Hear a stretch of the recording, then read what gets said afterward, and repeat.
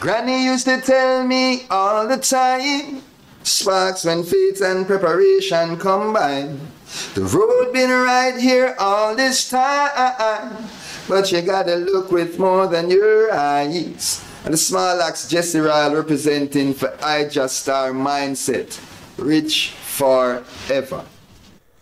Blessed love, pleasant good afternoon. Warm welcome, Mindset Program. I just start my host and I want to greet the item in the divine name of His Imperial Majesty, Emperor Haile Selassie I the First, Empress Menen the First, Holy Emmanuel I, King Selassie I Jah, Rastafari. One more day above ground, beautiful viewers and subscribers, as they them know that life is our ultimate position, you know, not no greater than life, no matter what a guan. Alright, so give thanks. Um, I would urge the item to please push that like button.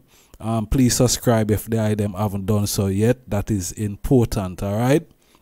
So we have a special um, guest on the program today, and I can tell the item that it's gonna be a very um, powerful program. We have a long-standing um, member, Rastafari Brethren of um, the Ethiopian World Federation, um, a brethren from the UK that have moved um, from the UK to Ethiopia, a brethren that has done a lot of work in helping and in aiding I and I brethren and sisters in the movement of Rastafari in Ethiopia.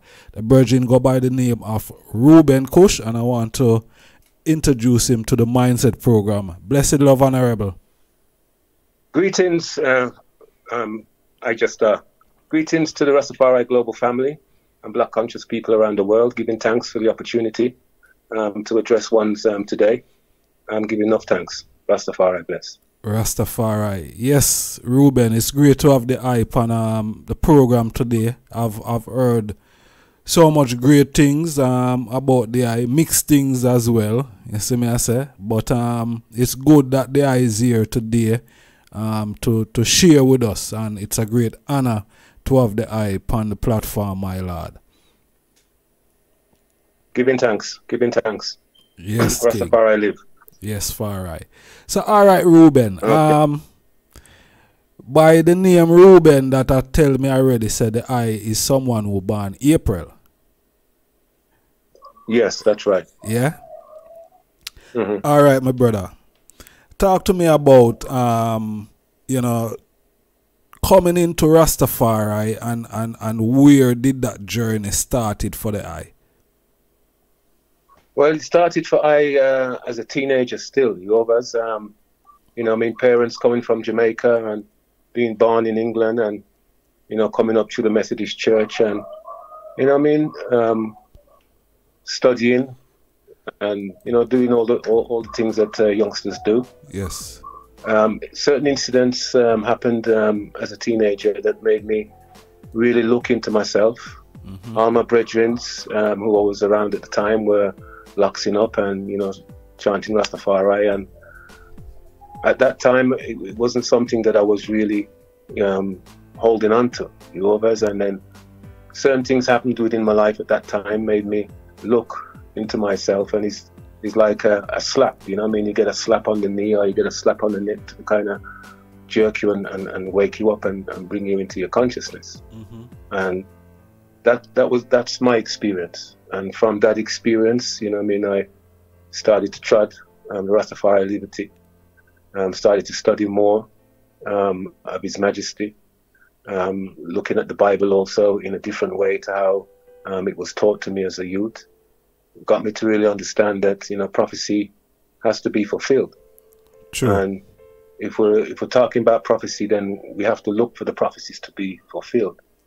And all the things that um, was said about His Majesty, I got to see that these are the prophecies that, that's in the Bible, and that got me to really study more, read a lot more about His Majesty, read his um, his autobiography, read his speeches. He had speeches for um, domestic uh, um, and he also had speeches for when he traveled abroad. And the messages that um, he brought was one of empowerment, one of, you know, I mean, knowing thyself, balancing a oneself, and for the betterment of a oneself. And if if, if you're strong within yourself, then you can be strong within your community. And in England, at, at, that time in, in, in Birmingham, mm-hmm. there was a strong um, community. And we worked together. We, Eli, you can hear me? Yeah, man. But hear me, I say, before the eye reached Dessa, Zane and the uh-huh. Trad, we are going we are going forward to Dessa still. Zane, but uh-huh. before the eye reached there, what was the transition like for the eye now as someone who grew up in a Christian home? Zane, in a country where there are certain isms, Zane, what was the transition for the eye now? Transition from from from the, the, the, the, the, the Christian mind of thinking into Rastafari? Well, um, the real the reality of life still, you know, because living in England as a, as a youth wasn't easy. You know what I mean? You you couldn't um, go certain places um, with, uh, unless you knew you was going to get into a fight. You had to be ready to fight. Certain clubs you could go into, certain certain clubs you couldn't go into, and then after a while, you know, I mean, you, you get into the music. But and the but, reggae music played a, a real part in that. When when but the, the eye, old, I pray thee, when the eye said getting into fight, what what type of fights were there? What type of physical, fight did I get into? Physical fights. Yeah, yeah, yeah. physical fights, but what? Racist fights yeah. are what yes, type of fight? Not. All right, all right then. You you you go you go to uh, when I was a teenager, we got to discos. All right, you go to a disco, you start dance. The, the girls them like the way you dance, they like the way you talk, they gravitate to you. Mm. Where others in the dance didn't too like that. See it. You over. So when when when it done now, they want to fight you. You. You go into the city centre on the weekends. You're guaranteed to get into a fight. Over. Um, the skinheads were, were active at the time. Um, the racist um, elements were active at the time you couldn't get no work. You know what I mean? You, you, you didn't leave school. You were kind of kicked out of school at 16 and, and you know, go your way, mm. find your way, do, do whatever you want to do. There was no real guidance and direction from the system because the system was racist. Um, when I when I left school, a lot of ones were trying to get apprenticeships. It was very difficult to get apprenticeships. All you could get was training jobs. And as soon as you get into the factory, they want to put the broom in your hand. They want to tell you where the cups are, tell you where the tea is. At 10 o'clock, you, you go and buy the sandwiches, you make the tea, same at lunchtime, and, and same in the afternoon. So, and I like you, you come for learn trade. Yes, that's how I got to, to learn my trade still. No, but you know, so there was a lot of there was a lot of things that that we couldn't really uh, access, mm. and education and and getting a, a decent job um, was all part of it at that time. So we rebelled you as, as youths. We rebelled against parents, we rebelled against church, we rebelled against the system, you us, and, and we found our own way mm. that so, suited us. So, what Rastafari now did for the eye, Zane, um, going through all of that and knowing all these things exist and you have to deal with them. What what what what what Rastafari did for the eye? What type of changes Rastafari bring into the eye life? Well, I can. Well, the first thing I'll say, you, you know, you become radical, mm. and once you become radical, you become a danger to the system. You know, I mean, so that radicalization is not what the system um, expects of, of young black men in, in you know in, in the system. So we rebelled. We became radical. We got to understand that there's a struggle, and we we're either in the struggle or we're out of the struggle. You over. So as a Rasta, we're in the struggle. You over. So we don't take no chat mm-hmm. first of all, and we move we move forward, forward thinking. We're milking the system as we go along. We want to take back from the system what was taken from us. So these things, you know, are in the mind, and, and, and your mind develops, and you become revolutionary within your thought. Sometimes you, you can't really enact that re- um, revolutionary um, tactics um, for fear of, you know, going to prison or, you know, I mean, being you know I mean, um, Babylon coming down upon you, and all kind of different things. So it was about organizing and centralizing. So as a teenager, as as a Rasta youth coming through now, the question I always used to ask was, how are we going to repatriate? You over because by them time there, we you know sound system are run every street in Birmingham, mm-hmm. in in all areas had a sound system. You know, I mean, you had blues dance going on um, in every area every night. You know, I mean, you you you, you had different um, regions with their sound system.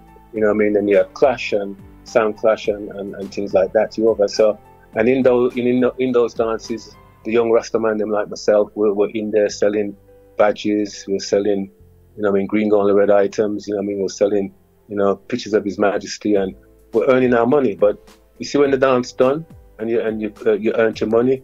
You, you, you, you used your money to buy your herb. You, you buy a drink. You, you, you get a taxi to reach home. By the time you reach home, you don't really you've got no money to show for, for the work that you that you've done for the for the evening. So it's like, well, how are we going to repatriate on this? Mm. How will this ever work?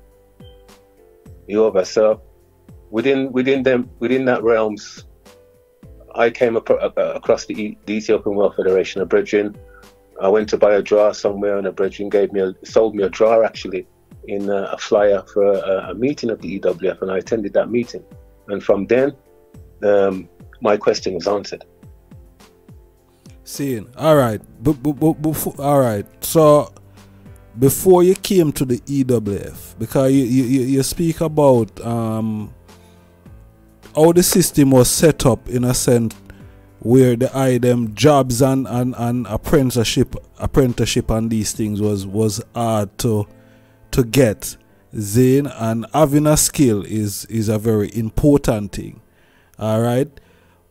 Was it before joining the EWF the I became um the I get a skill as what the I is doing now? No, no I I I had I was skilled or training um, before I became a member of the EWF. Talk, talk. Because what happened, right? Yeah, talk to me about that part there before we reach the yeah, EWF. what, what, what, what, what happened, right? When I left school at 16, I had uh, had CSEs. wasn't the best CSEs, but I had CSEs. Mm-hmm. My ambition was to be a mechanic, to get an apprenticeship, either with the, the bus company or one of the big car companies. Um, to get an apprenticeship, five or six year apprenticeship, you get a good salary, you get trained well, and you, you, you're secure in a, in a job. But that didn't, that wasn't happening for me. So when I left school, couldn't get no work, ended up in a training center. Um, the training center had jobs that they were offering training jobs for ones who had CSE. I was the only one that had a CSE qualification in, in, in the training center. So I applied for the job, got the job. After the first two weeks, my intention was to leave the job. But my mother, she said to me, she said, no, you need to stick it out because my my mum um, she went through a lot um, when she came to, to England in terms of work. See. But at that time, she could go from one job to the other. If it didn't suit her, if, if the foreman spoke to her a certain way, you know what I mean? She could pick up her bag and, and leave and she'd get a, a, another job somewhere else in the same day, in the same hour sometimes. So I'm coming from a, a working class background my parents. So yeah. my, my mum really encouraged me to, to stick it out. And I did. And um, uh, uh, and so today I'm here in Ethiopia. I'm a qualified um, mechanical engineer. I'm a scientist in um, metal finishing. You know, I mean, I've got a lot of skills behind me, um, and it all started from that time. I could have left because when the man put the broom in my hand, I wanted to just give him back and say, "Yo, don't bother with that. I didn't come here to sweep the floor." Mm. But, you know what I mean? My parents were there, they encouraged me, uh, and I stuck it out where a lot of my brethren didn't stick it out. And said, no, we ain't coming here to make no teeth in a man and, and go buy um, sandwiches for man. You, you others and, and not learning anything. But I stuck it out. And that's uh, why I'm here today. Different and separate apart from the discrimination of, of your skin color, Zane, did you think the lax had something? Because there must be a young Rasta them time there. Yes, yes. We, we, we, we, we at, at, that time there, you know I mean? I'm leaving at home. You know what I mean? You wet your hair, you pat it down, pat it down, pat it down, so so it looked like, you know, a little small afro because my dad was one of them man there. Um, as soon as school holiday come, he go into the barber. If you're not going to the barber, there's a man a, a man down the road. We saw a man down the road, a black man who used to cut people's hair, See. and that's what that's that was the that was the trend. So coming through as a youth now to come home and and, and you're wearing locks, it's like big argument I on in the house. You know, but so those are the tribulations that, that we had to suffer as youths because we had no free speech. Our parents didn't want us to have the free speech because they know they they went through all the racism, they went through um, so much things, and they didn't want their, their, their children to go through the same thing. See it. But you know, what I mean, it, it was inevitable that we would go through the same thing, and even worse. Uh, at least my parents um, were, were able to find work um, and and make a living, and look after their, their family, look after you know.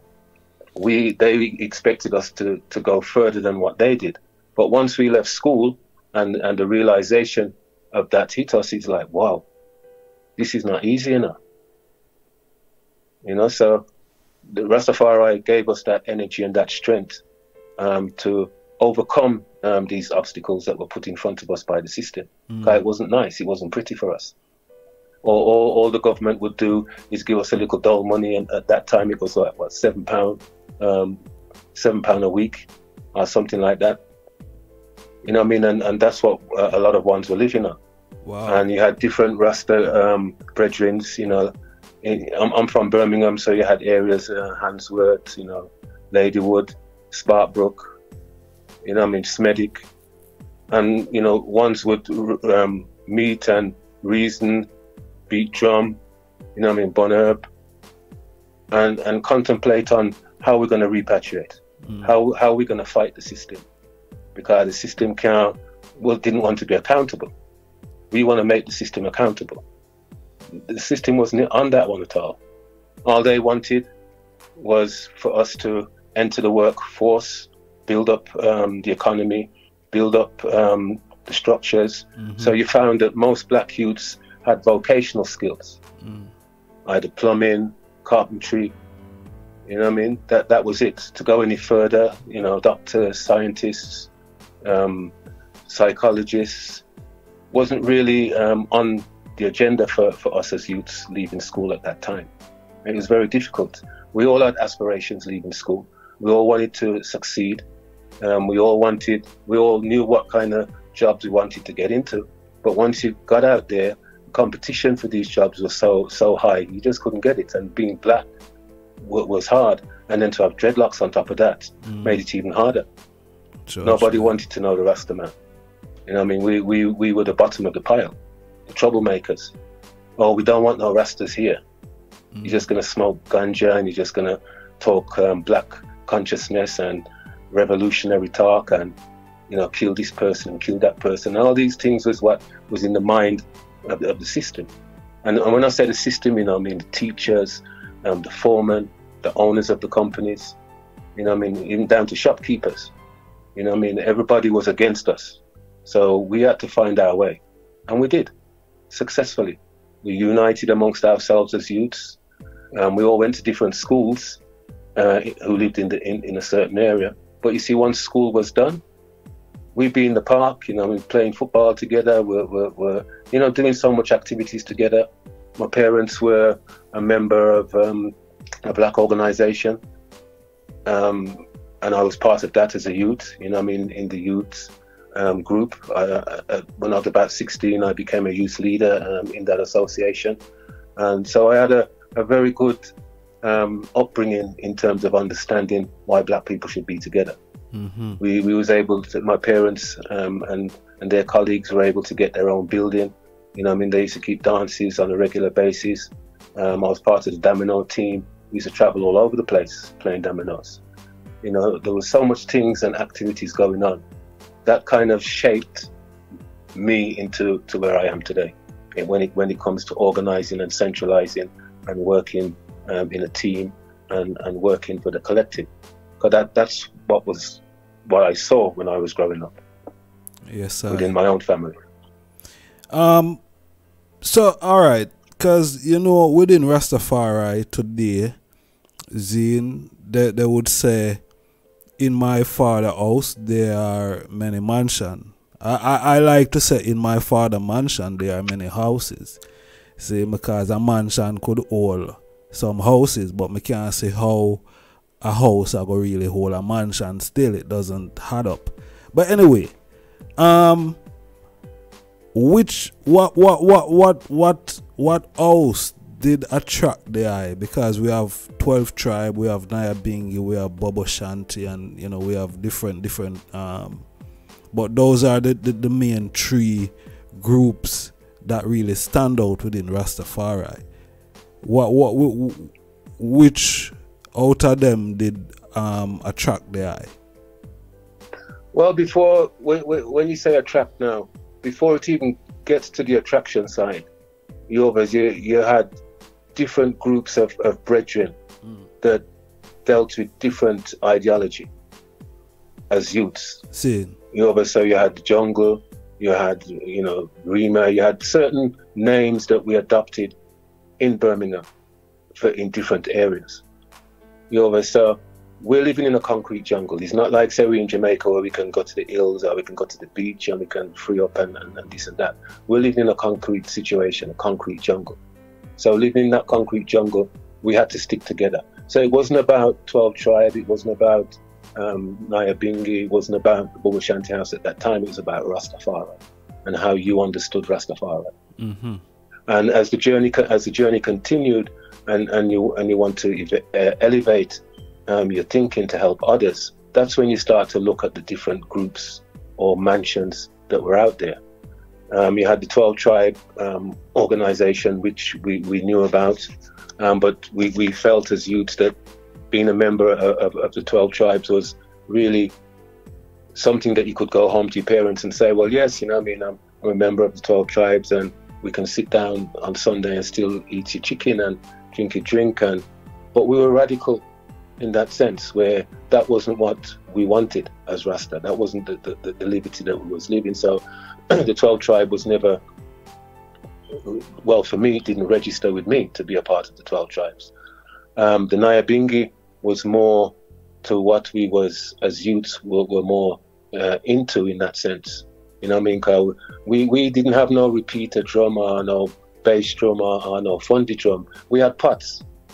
Over. Mm. I remember as, as a youth, we go around to a brethren's yard, we put together, we'd buy a quarter of weed or half, half ounce of weed, and we'd spend the afternoon there, and we're, and we're beating pots. You Over. Well, uh, that's that, that was our uh, hills. For we to be in the hills, we, we would have to be in a concrete setting. That, that's how that's how we function.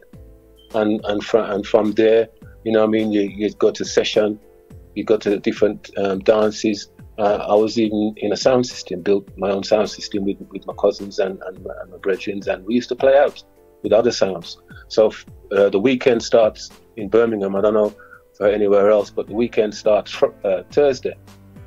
Thursday, you're, you're, in the pub, and uh, you know you start off the weekend. Uh, sound system up clear, and you know what I mean. You, you, are there with your brethren, and, and you're gone. Friday night now, there's another um, clubs um, that were, were, operating, some in Handsworth, some in Sparkbrook, some in Nechells, different places where man used to go. And then after that, on a Friday night, Friday night, man gone to um, midnight movie. And then from from midnight movie, watching the kung fu movies and other things. And then from there, you go on a blues. And then from blues, you walk home. And that's a Friday. And then Saturday is the same thing. And then Sunday, you, you, you, you know, well, me and my brethren, them on, on a Sunday, we'd go pictures. You over. So that's the that's that's how the weekend used to be for for, for us. Um, that was our reality. We wanted to, to live the best life. We wanted to have the best enjoyment. Mm-hmm. We didn't want to be because we, we come to 16 and 17 that we still have to stay home. It was very difficult to get parents' permission to go out. So not just me, but a lot of brethren and sisters used to sneak out you know what I mean? When your parents have gone to bed, you jump through the window and you're going about your business, and then you come back home before they wake up, and that was it. But once um, you get to 17 and 18, you know what I mean? You, you, you, get more freedom. You can go out look more. You start to have a girlfriend, and you know what I mean? Mm-hmm. And and you start to live your life a little bit more. You take on the responsibility. You have you you, you know you start to have your youths, and you, you, are looking for um, accommodation for yourself and, and your family, and you're looking for a work so that you can provide for your family. So we want to do all the things that everyone else is doing, but it was very difficult. Not saying it wasn't difficult for everyone else, but uh, as a black man, as a black youth, it was very difficult. But we, but we got through and we survived. Yes, I. Yeah, man, give thanks. Yeah. Weather in the storm, you know? Yeah. Yeah, give thanks. Yes, far. So, and, go on. All right, go on. Sorry. Yeah. So, so from from from that from from all those things, you know, I mean, we're very active. You know, I mean, we're out there in the community. Um, we're helping in the community as much as we can. Um, we're, we're, we're, we're, we're moving together. Um, we're, we're looking after our own security because security was one of the main things that we had to maintain. Mm. Because without security, you ain't got nothing. You know, so we have to look after each other. You know, I mean, there were times where uh, I remember one time where um, I think it was in Smarleyt, an area where um, some youths, uh, uh, you know, accosted a, a, black woman, and everybody came out. Yoruba, we, we have to defend our own. That's you know, and, that's kind of lacking um, in, in, these day and times. And that was the radical side of us coming out. We have to defend ourselves. We're, we're, we're our own police. We have our own security. We now have to go to Babylon for, for our, our security. If someone do it wrong, we deal with them. Simple. Yes, I. Yes, I. So, um, I know from them time then now, cause the I was speaking about the um, coming into the, the, the EWF Virgin um, linking the I, Zane and you yes. went there you went there once. Alright. I, I, I, I don't want to speed up the reasoning, but um what what really in in in Nyabing, you know, Zane, cause them time they they are young and you know what what what what really what part of Nyabing you know that really um I would say attract the eye still you know what I mean? What what what what what? Because we know Naya Nyabing to be more a radical side of Rastafari then you know a, a side where um not even my side still but Rastafari is who them well serious and many consider them to be the, the, the warriors within Rastafari. Um, what what what really did attract the eye, you know, because as I say, um, 12 tribe probably wouldn't be an organization where the eye would have um, join up with. Um, I don't know, probably Bobo also. But what what really attracted the eye to to to Nyabing, you know, that align with the eye? Okay, um, well, we, we're, we're we're coming from you know as black youths um, in in England, our parents introduced us to music. Mm-hmm. So music was always on the go, playing all the time. My parents had parties in the house. We, like I said, I was part of an association with, that my parents were involved with. So music was always there. And then I, I came across um, an album, Grounation album. And that album, you know I mean, it, it, it got to the heartbeat. You got to understand your own heartbeat. And with that uh, heartbeat, um, you can meditate. You burn a draw, you open up your mind, and you can meditate. So that that's was my first encounter with, with the drums. Mm. And from, from there, you get to understand the liberty. And then from the liberty now, you get to understand that the Nyabingi at that time was a theocratic order. So it was more based on the Old Testament, not not so much on the New Testament. Once we we, we had no time for the New Testament. But the Old Testament, that's where the Nyabingi, you know I mean, that was the influence of, of the Nyabingi because when, when you go into the church, the Methodist church or Catholic church or any other church, it's mainly based on the New Testament and not so much on, on the Old Testament. But the Old Testament, you got to understand a little bit more about where you came from, whether you understood it or not. But you got a you got a better understanding of the scripture through the Old Testament, mm. and that was coming from um, the Nyabingi at that time, which was more theocratic in its order. Um, the liberty, you know, I mean, um, uh, how you eat, how you dress, um, all, all, all, all of those things was, was influenced to me from, from the Nyabingi house. So I had a, a real influence from the Nyabingi house more than anywhere else. At that time, um, I, I, knew nothing of the Bobo Shanti. is something that, you know, kind of sprung up um, in the 80s. for, for me still. Before that, I had no idea of the Bobo Shanti. It was either 12 tribes or, or Nyabingi.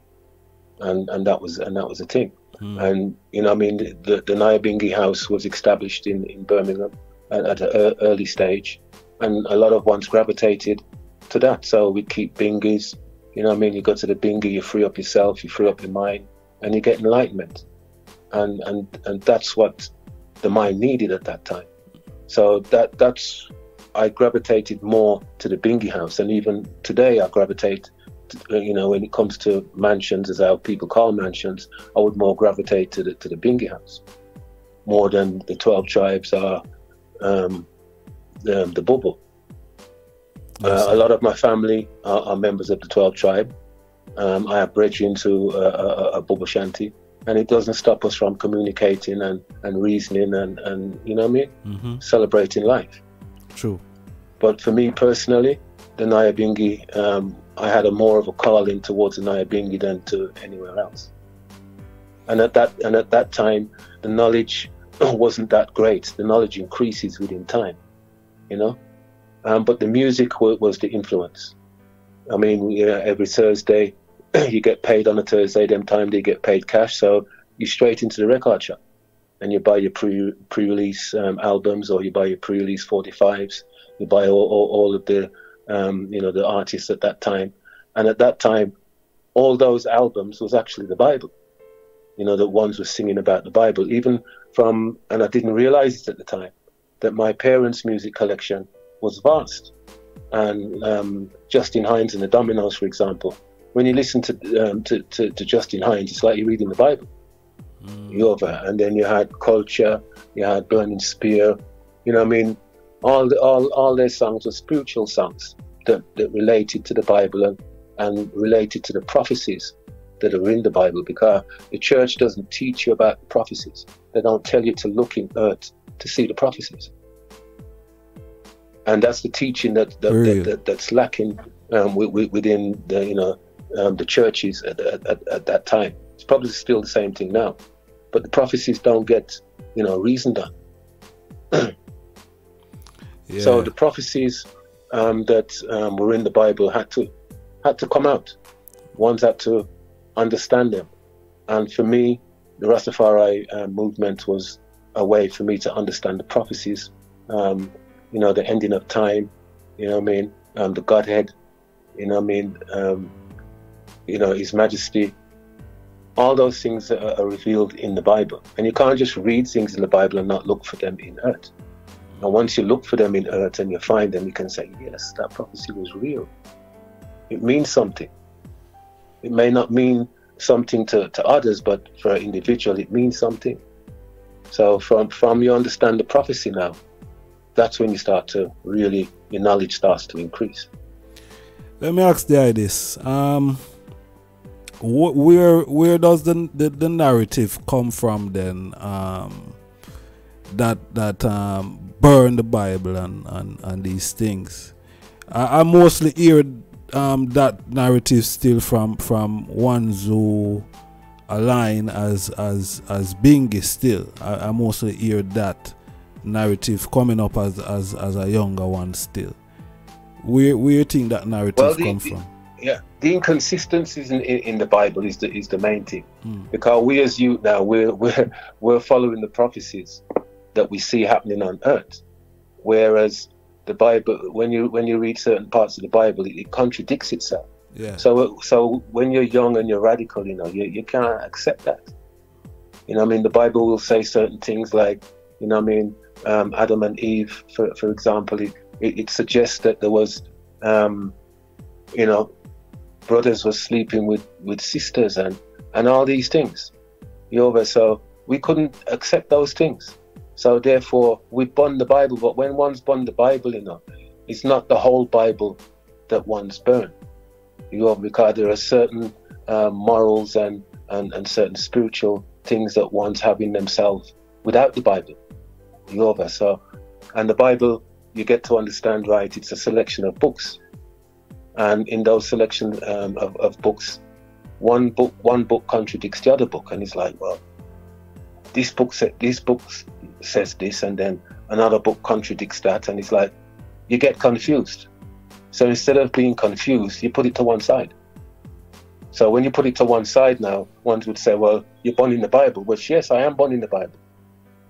Right, but ones need to understand what that actually means. Mm. You over because, you know, we, we're coming, especially um, amongst your parents. Your, pa- your, your parents instill what they believe is right so that when you have your children, you can instill what you believe is right to them, not what they say was right but the, the, the concept of them um, teaching us what they feel was right Mm. was enough for us to know that when we have children, we have to do the same thing. Yeah. So my parents are not going to tell me about the contradictions in the Bible, but I can tell my children about the contradictions in the Bible so that they can understand it for themselves. True, true, true. That makes sense. Yeah, make a lot of sense. Yes, far right. Yeah, because it always um come weird to I when me hear one say them burn the Bible and then within another breath they would be quoting something or you know what I mean referring to something from from the Bible. You know what I mean? So you know it kind of did. yeah. Yeah, and and then and then the next thing as well, you know, what I mean, once you become revolutionary in your mind, you know, right, it's very difficult to, to accept the Bible for what it for what it is and for what people tell you the Bible is. You know, as a revolutionary, the, the, the Bible don't make no sense. Mm-hmm. You always because it's a struggle, and we and, we know so we're, we're coming from from Africa. You know, what I mean, no one uh, didn't have to really tell with that. You know, what I mean, once you're in school, you know, especially when um, you know, when I was about 15 and Roots came on the TV, that was it. You knew you were black. There was no, there was no if or but about that. You go to school, you know, you, you all of a sudden you get a, a nickname, Chicken George or this and that, and then you get into problem because a man go call you them thing that you, you know, what I mean, you, you, you snap and you know you go you go on away Mm-hmm. and bring trouble on yourself. You over so the, the the Bible wa- was used. It's a tool that was used, right? And it was used for many things. It was used to entrap um, um, ones, in, you know, our forefathers in Africa, and it was also used on on parents who were coming from generations of slavery. You over so it's a tool, and it's whether you want to use that tool or not. And as a youth, I chose not to use that tool. I understood the Bible as much as I could, you Yova's, but it wasn't something that I was using as a tool for myself. I was too revolutionized at that time. It was like, boy, we have to go tear down this place, you know, because we now get what we what we forget. You know I mean? If I can't succeed here, how are my children gonna succeed? It wasn't doing it. So it's that revolutionary spirit that, that was that was in us. Even though we had little understanding, but one thing we, we understood that we're revolutionaries. You know I mean? Marcus Garvey, when we when we read the philosophies and opinions of Marcus Garvey, when we read about um, Malcolm X, you know what I mean? Um, by any means necessary. You know what I mean? The, the, these are the things we could relate to. And it's what you relate to is what you you know you gravitate and hold on to. You know what I mean? And, and the Bible wasn't doing it for us like it was, was doing for our parents. All the Bible done for our parents was to keep them humble and keep them in place. Mm-hmm. Where we, we as youths now, we said, no, we, we, we're not into that. How, how, how, come, how come we can't walk down the street? How come we can't go and dance and dance with no woman? You over? How, how, how come when we go to a pub, everybody wants upon me? You know what I mean? The first thing we we used to do as, as youths, as, as soon as you go into any kind of club, the first thing you do is to find out where the exit uh, is to get out the place and, and, and, and, and look what you can use as a weapon if you need to use it. You know I mean? Th- those were standard standard things. You over? And then, you know, once became more revolutionary now, we stopped going to those places. Over? And we got dance. You know I mean? Sound system I string up, sound system I clear. Everybody is having fun. There's no big hole in, in the middle of the, of the dance hall because everybody's on the dance floor. Everybody's dancing. You, you leave from the dance with, with your brethren and all you're talking about how much women you dance with that night then. You know what I mean? And, and, and that was it. And, and you reach home safely. Whereas if you go into other environments, you know I mean, you have to fight your way out. And some of us, you know, there were some brethren that, that like that, that kind of vibe. You know, because we can hold our own. We, we, we're not weak. We can hold our own. If Yes, it's if it's kicks and blows and, and, and beating, then that's that's it. That's that's the way how it went. We mm-hmm. have to. You, you can't just tech tech tech all the time. You have to give back too. So we used to give back, not just in words, but in deeds too. So that that was that was the the, the liberty that I came to in the seventies, leaving school. You know, and all of, all of those experiences, you know, you, you start to really question yourself. You, you start to question family. You start to question cousins. You start, you know, you start to question so much different things. So till you get to the realization, you know something, I have to get out of this place. But how are you going to do it? You know, and the, and the liberty um, of, of, of Rastafari coming from the Nyabingi house gave you that spiritual understanding that the church couldn't give. And, and, and that's where, where it's at. You can't break the spirit. You can't break the faith. You know what I mean? If it's tribulation, man, if you go through, then it's tribulation. Them time that we not eat meat, we not eat this, we not eat that. Man, I, man, I drink ribena and, and custard cream biscuit and all them things there. You know what I mean? Because you, you you're not gonna, you know, you, you stop eating certain foods that your parents were preparing. So you go home to your mother and you say, "Look, mum, I can't eat out of that Dutch pot no more." Then you better take yourself out. Then that was the vibe. Mm-hmm. Straight. So that was that that that's the liberty, you know what I mean? And, and that liberty was coming from the theocratic order of the Nyabingi. And in Birmingham, um, it was coming through the music. We had no hills to go to. Well, there were hills, but you know what I mean, once you go up there, you know what I mean, you, you stay up there for a couple of hours, you freeze it, you freeze and you get cold. And you have to, you know, leave and go yard. It's not like Jamaica where the sun will shine or Africa where the sun will shine. You can stay in the hills all day. You can go to the hills in the summertime, but in the wintertime, you're stuck in your yard Mm-hmm. in a concrete setting. And you have to make the best of what you of of the surroundings you have, and that's what we did. if it's to take a yard, if it's to capture a yard, we'll capture the yard. And then when you capture the yard now, the housing association would, you know, they they, they didn't really give too much problem because we're there securing the houses for them. You know, so we went through all those kind of, you know, I mean, all those kind of um, experiences to bring us to where we are today. Rastafari. So it wasn't pretty and it wasn't easy, but we survived. Yes, I. So, all right, talk to me about um, getting into the Ethiopian World Federation because the I was saying um, a virgin invited the I. Yeah, at that time, I'd left home. I had my queen. I had my first youth. I was working, and repatriation was on my mind. You know, it's like, how are we gonna, me and my family, how are we gonna repatriate? So once I went to an EWF meeting, I got to understand. So well, this organization was established by His Imperial Majesty for Black peoples of the world.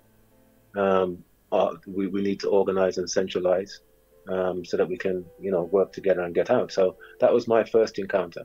Once I went to the first meeting, I became a member of the organization. And from there, um, I was an executive member, uh, first vice president. And then um, after that, I became the chaplain um, of the organization for about eight years uh, in Birmingham. You're always dealing with the, um, the moral tone and the spiritual needs of the, of the members. Um, which meant you know me uh, interacting um, with the members um, all the time, Mm. um, doing activities with them all the time. The organisation is, is set up in a way right where there are committees, and I was um, the chair of, of many committees. I was the chair of the Complaints and Grievance Committee. I was the chair of the Housing Committee at, at times. I was the director of the, um, our um, orchestra um, band, um, uh, Dinah Dims, uh, Nyabingi um, band.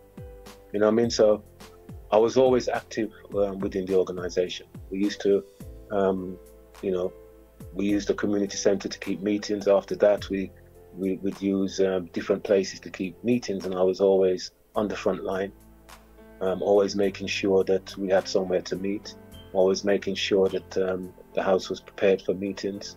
I'd, st- I'd go early, I'd leave late, I'd give my time, you know what I mean? And, and I became more and more active within the organization.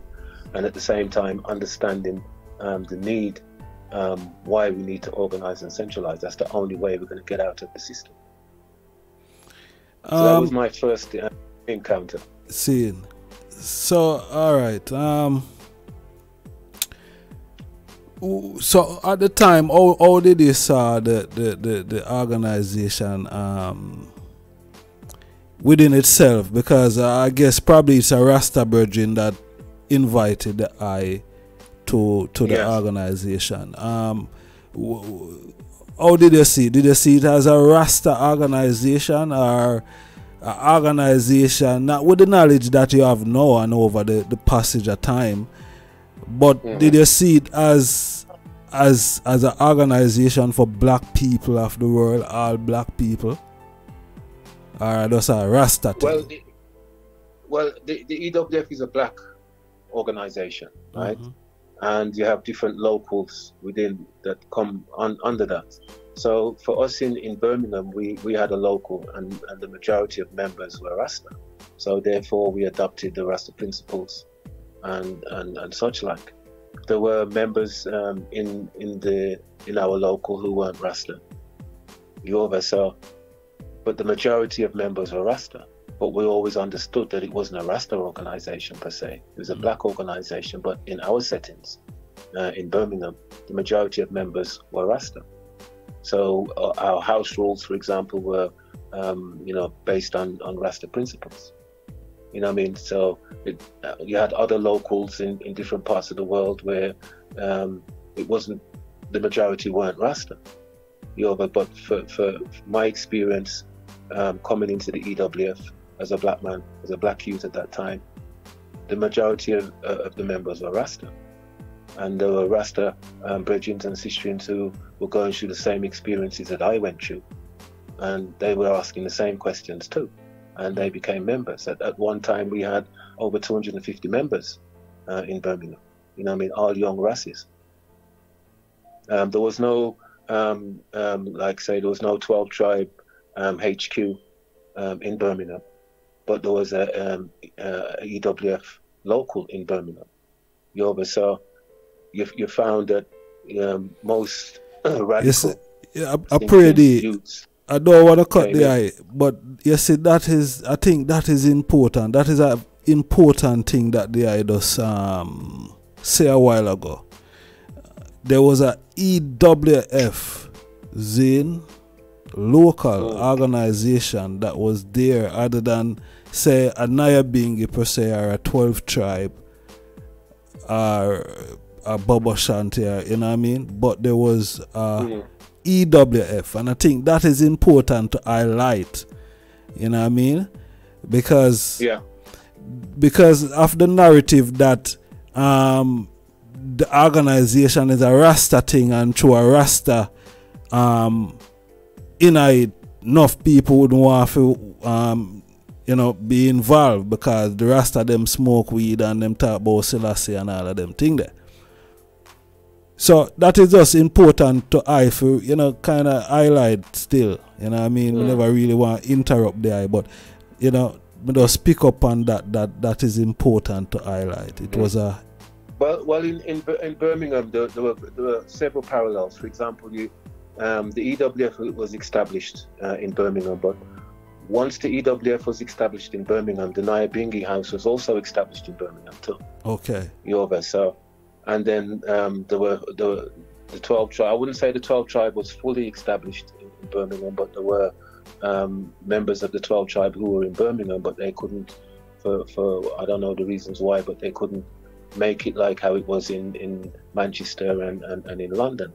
So you had two prominent um, group um, groups um, in Birmingham. You had the EWF and you had the Nyabingi House, but the Nyabingi House um, ones refer to them now as a mansion, mm. where the EWF is not a mansion. The EWF is an organization. So, as an organization, as a young Ras now, yeah, because of the connection of the, of the EWF um, with His Majesty and the reason why the EWF um, was established, once you, you, you, get a full understanding uh, of that, then naturally you become a member uh, of the EWF. You had members from the Nyabingi House in Birmingham that were members of the EWF being a member uh, of, of, of, the Bingi House didn't stop you from being a member of the EWF. You understand? So, but the EWF was more of a, um, the constitution of the EWF is more business-like. It's more on an administrative level. You know, I mean, it's it's a balance um, between the physical and the spiritual. um, where where the, the, the, the House was a, a theocratic order at that time. Didn't really um, adhere too much um, to, to administration. I'm not saying that the, the, the Nyabinghi House didn't have an administration because in Birmingham at that time, um, the prominent um, business owners and shop owners and, and entrepreneurs were coming from the Bingy House too. Mm. You know, so it, it was um, it was it there was always that parallel, but there was there was a, a mutual respect. So there wasn't a fight um, against the Bingy House or, or the the EWF. And then at the same time, you had different groups of, of, who were fighting against Bingy and fighting against EWF. So that became a, a tug of war as well. You over because you got to remember uh, in, in them time there, from from you say that you're you're dealing with His Imperial Majesty, you have to defend it.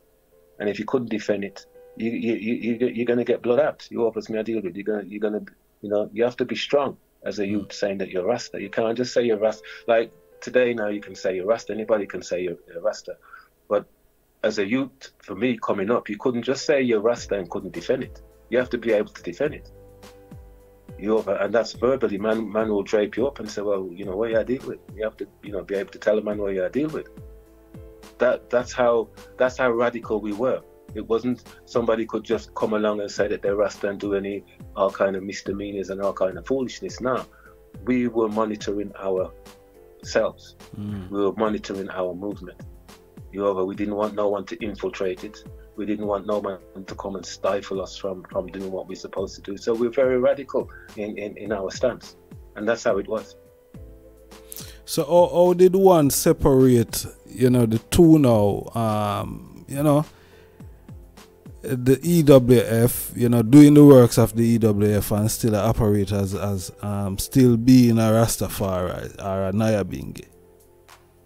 Okay, I'll put it this way, right? I, I was a chaplain mm. um, for the EWF uh, in, in Birmingham for many years. And the chaplain's duty is to deal with the moral tone and to deal with the spiritual needs of the members. So, as a chaplain now, I have to know the members if you don't know the members, then you can't deal with their spiritual need. And if you don't know the members, then you can't talk to them about their morals. Mm-hmm. So there was that spiritual side within, within the organization, but the the chap the chaplain was was there not just to um, promote His Majesty or to speak about His Majesty, but it was to adhere to the spiritual needs of the members. So if the majority of members are Rasta, then naturally as a chaplain, I have to deal with that. If the majority of, of uh, if, if, there were um, Christians in there or if there were Muslims in there, you still have to deal with, with that. You always to deal with. So it wasn't it wasn't a case of well, um, being a member of the EWF means that you know you can't be a, a member of the um, Bingy House or you can't be a member of the 12 tribes or you can't be a member of the Bobo Shanti. No, it wasn't like that. It was about an organization that was there for black peoples of the world um, to, to empower ones um, to, to make sure that the, uh, the community develops and, and to assist. And that's what the organization was about. But it just so happens that in Birmingham, the majority of members were Rasta. That's it. Seeing, yes, I. Yes, far right. Yes, all right. Um, so with with with the EWF now, seeing I know they as they I said, they have been doing a, a, a, lot of work in, in, in, in Birmingham and thing. But pan, pan, pan an international level, why was there such a dormancy um, with the organization? Well, there wasn't there wasn't a dormancy, mm. all right, because locals were functioning. I, I, am I'm, I'm a member from from Birmingham. Um, there was um, um, locals in, in, in London um, what what took, what what happened right was that ones in London um, kept um, a meeting, um, invited all the. Um, you had a, a, group called the Repatri- um, Research and Repatriation Committee, which called a meeting and uh, introduced the EWF as, as a way of bringing all the different groups together to work in one accord and, and to bring about the unity that was needed to facilitate repatriation. So there was never um, um, a real dormancy in, on, on that level. There was a dormancy on the international side of the organization, but in terms of um, a local, um, the locals were active around the world. You had a local in, in Jamaica, you had a local in France, you had a local in Birmingham, you had a, a local in London, um, you had a, um, a, a local in America at that time too. So the locals were functioning, but the locals were functioning without an international head. So when, when one say that there was a dormancy, the dormancy is more on the international um, side. Um, from the, the there were locals um, established in, in in London in the 60s, you know what I mean, and members um, from from that local, you know what I mean, they had a unit in, in Birmingham, you know what I mean, so the federation was always active in, in Birmingham from from 74, from uh, as far as I can uh, think back, you over so. Mm. But on an international um, side, that that's where the dormancy was. Seeing. Um, and and, I, and I, mm. I, I, I, need to I need to say this too. Um, the Ethiopian World Federation was established um, because of the um, invasion of uh, Italy in Ethiopia. Mm-hmm. Um, at that time, Italy was threatening the, the sovereignty uh, of Ethiopia, and black peoples around the world rose up and wanted to defend Ethiopia. Yeah, Ethiopia was the only place in in uh, in Africa that hadn't been colonized, so it was you know it was war. You know, Italy, Italy declared war, not just on Ethiopia but on um, black people all, all, around the world. So fundraising took place in, in America, mainly um, to to raise funds um, for for the cause. A lot of Ethiopians, I mean, sorry, a lot of um, Black Americans um, tried to sign up um, to come to fight on the front line uh, in Ethiopia. But a lot of them were American citizens, and as an American citizen, um, that's not allowed. You, can't do that. So fundraising was, was being done at that time in in, in the in 19 in 1935 around them time there, and then at the same time the um, Marcus Garvey um, movement was wasn't so strong wasn't as strong as it was um, America was just coming out of depression too, so you know everyone was having a hard time. You saw a group, uh, prominent um, um, black people from America, from Harlem mainly, traveled to England to meet with His Majesty to, you know, ask for assistance and to explain to His Majesty um, the love that the black people around the world had for Ethiopia and wanting to assist. Out of those series of meetings that took place, um, in in England in Bath. His Majesty um, put together his idea of an organisation that could um, solidify and and and, uh, and organise ones in a better way. So um, His Majesty sent his nephew and, and um, uh, his physician, um, Dr. Malaku Bayen, to America. But you've got to understand, you know, that his Majesty Emperor Haile Selassie I is the king of a sovereign country. And as a sovereign country, he's in exile, but he's still the king of a sovereign nation. Yes. So, as a king of a sovereign nation now, he sent his physician and his nephew to America. But when Dr. Malaku went to America, he was recognized as a prince because he was a prince. So, certain diplomatic um, credentials that uh, other organizations would have to present um, to the gov- um, to the American government were waived because of the, uh, the status of um, um Dr. Malaku Bey. So from from that from then the the organization um, was established in 1937 to organize and centralize the fundraising um, efforts that were being done for Ethiopia at that time, because of the depression and, and the poverty and, and everything that, that was happening in America, you found you, you find a lot of charlatans who would raise money and keep it for themselves.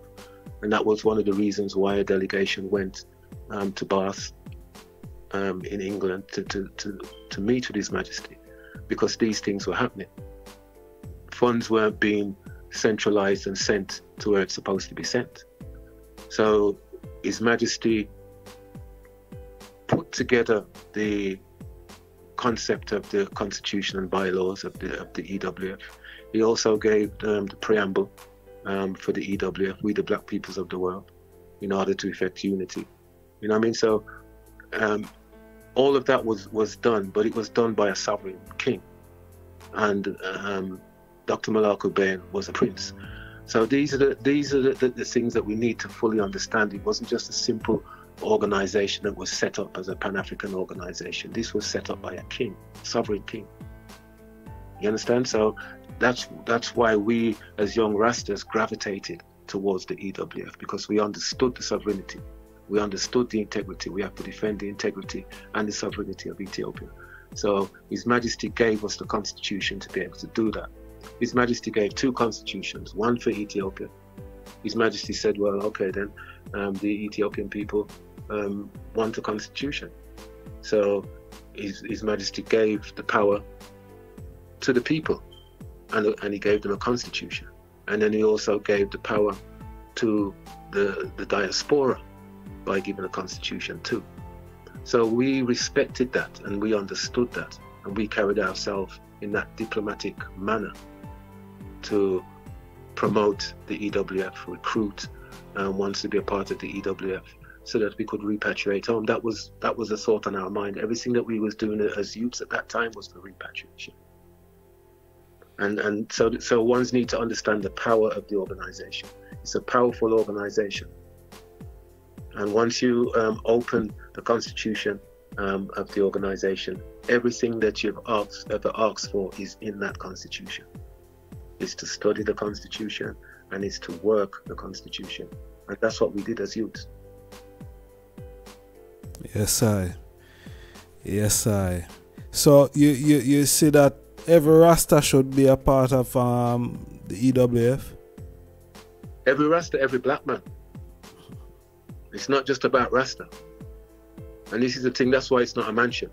The, I mean, the Nyabingi House would say that, you know, I mean, every Rasta should be a part of the Bingi House, or the Bobo Shanti would say every Rasta should be a part of the the um, the, the Bobo House, or every um, one should be a, a member of the 12 tribe. But the EWF is about black people.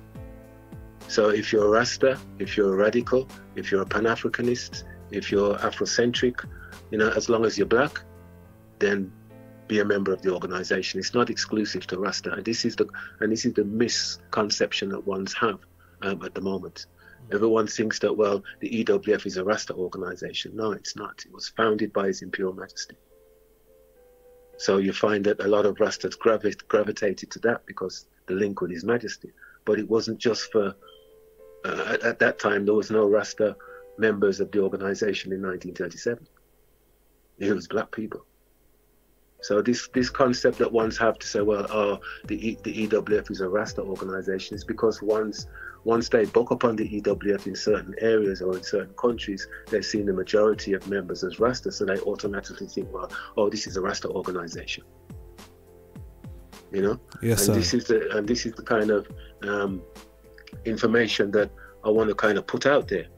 You understand? If you're black, you know, you can be a member of the organization if you're a Rasta, you can be a, a member of the organization. If you're Muslim, if you're a Pan Africanist, you know, I mean, we, we, all have the same things in common, and that's the liberation. You know, that's the revolutionary spirit.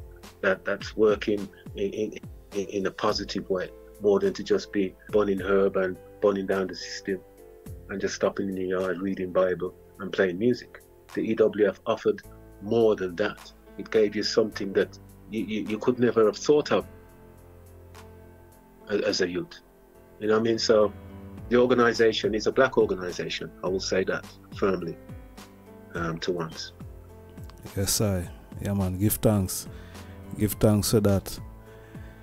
So, talk to me about um, some of the works now that, that I do um,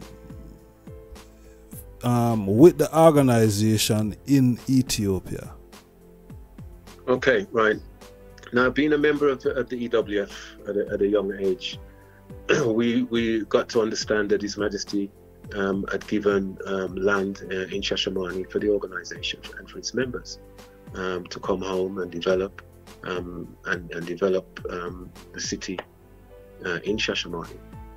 So um, in say 1992, I, I went to, to, Ethiopia, Shashamane specifically, to defend the land grant. I didn't go there with no bag of money. You understand? Um, I just went there to defend land because um, you had the pioneers there. You had Mama Bar, Papa Bar, Brother Vin.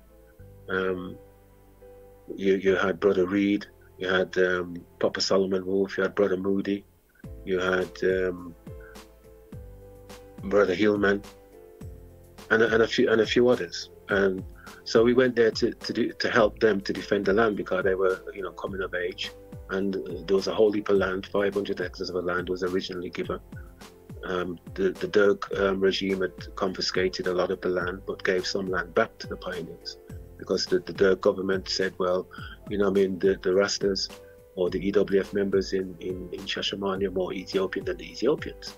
So he gave lands back um, to one so that they could build a house and do subsistence farming. So as a youth, we went to defend the land to make sure that you know our land was secure and safe. So that was my first encounter uh, in Shashamane. So in Shashamane, I, I worked with the elders, um, the pioneers, and and as youths, we kind of took over the administration that the pioneers um, had established. They were called the Pioneer Settlers Corps. Um, there was um, a Jamaican uh, embassy um, in uh, Ethiopia at that time, and any issues that the, com- that the community had, they would be able to go to the Jamaican uh, embassy, and you know, I mean, and the Jamaican embassy would, um, you know, follow up and, and, and, represent them. But once the Jamaican embassy left um, Ethiopia, they left a consulate, uh, an Ethiopian, uh, Otto Gabri, who worked very closely with the community too. But when I went to Ethiopia in '92, the Derg government had been ousted um, a transitional government um, was in place, and it was um, time for the EWF administration to um, step up its gear. So, as a, as a youth at that time, I was always part of the delegations that were um, meeting with the um, different governments uh, officials at that time to get back the land grant fully. because at that time, um, the Derg government had um, confiscated land from the church mainly and um, prominent business people and, and other um, um, companies, the, the, the, government seized all property in Ethiopia. So once the transitional government came in, they established a, a committee where anybody that had had land um, confiscated or, or, property confiscated from them could go to that committee and, and, and, make application to get those properties or lands back. You find that uh, the Orthodox Church um, was able to get back a whole heap of land that was confiscated um, from them.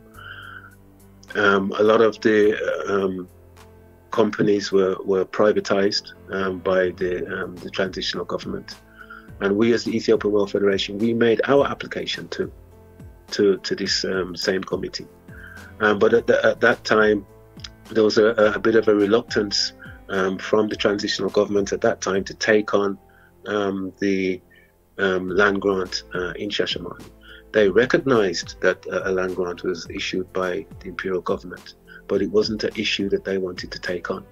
So you found that our applications were mainly a lot at the bottom of the pile, but we still um, was able to put our applications in, um, and and were invited to to some meetings, and then what we decided to do was to register ourselves as the organization in Ethiopia to make our application more successful. Um, I was uh, a part of, uh, of that, um, putting a project together. Um, going to at that time it was the relief and relief and rehabilitation um, committee that was um, established at that time, and we registered with them. Um, but because of the in, you know the little misunderstandings and the dormancy that was taking place on an international level, we didn't actually get the support um, that was really needed. Um, so it kind of fizzled out a little bit at, at, at, at that time. Um, but we was able to regain um, ourselves as an administration and continue up until this day making representation for the land grant. Um, at, this present time, we um, we have a great um, relationship with the Ministry of Foreign Affairs. In the um, Ministry of Foreign Affairs um, office, there is um, an America desk, and in that America desk, they deal with um, the Caribbean as well. So we was able to go there and and uh, make our applications there also. Um, so through all, all, all of this going backwards and forth, because what we felt as a community that our rights weren't being respected. So we were able to put newspaper articles in the paper asking the government um, to respect um, our rights um, to live in Ethiopia and our right um, to our land grant. But the problem that we were having was that a lot of us didn't have no legality to be in the country. So if you haven't got a legality to be in a country, then there's not much you can actually do. Mm.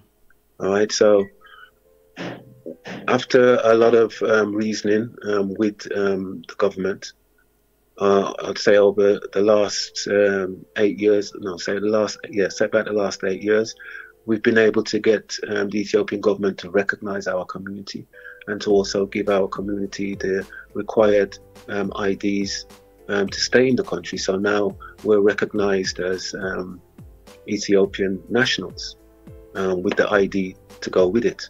So Ethiopians who left Ethiopia during the Derg's regime and had families uh, in America and Germany and Australia and, and different places, their children um, had passports for those countries. Um, so the government, um, the Ethiopian government, were giving IDs um, which, to the Ethiopian diaspora. So we uh, were able to, to gain the same IDs, but we didn't have to prove that our, at least our grandparents were Ethiopian. Um, the Ethiopian government wrote a, a, separate directive for our community. Um, I was um, a part of that negotiating. Um, I was a part of making sure um, that our community um, benefited and uh, all Rastas in Ethiopia gained an ID. The JRDC was also uh, involved with that. Um, started off working very closely with uh, with the JRDC uh, on this um, on this, and then as the time went by, the JRDC went off on their own tangent, and the EWF continued uh, making the representation. So you find now that the Ethiopian government um, said that anybody that that is Rasta and wants to gain an ID then they would have to come through either the JRDC or the EWF.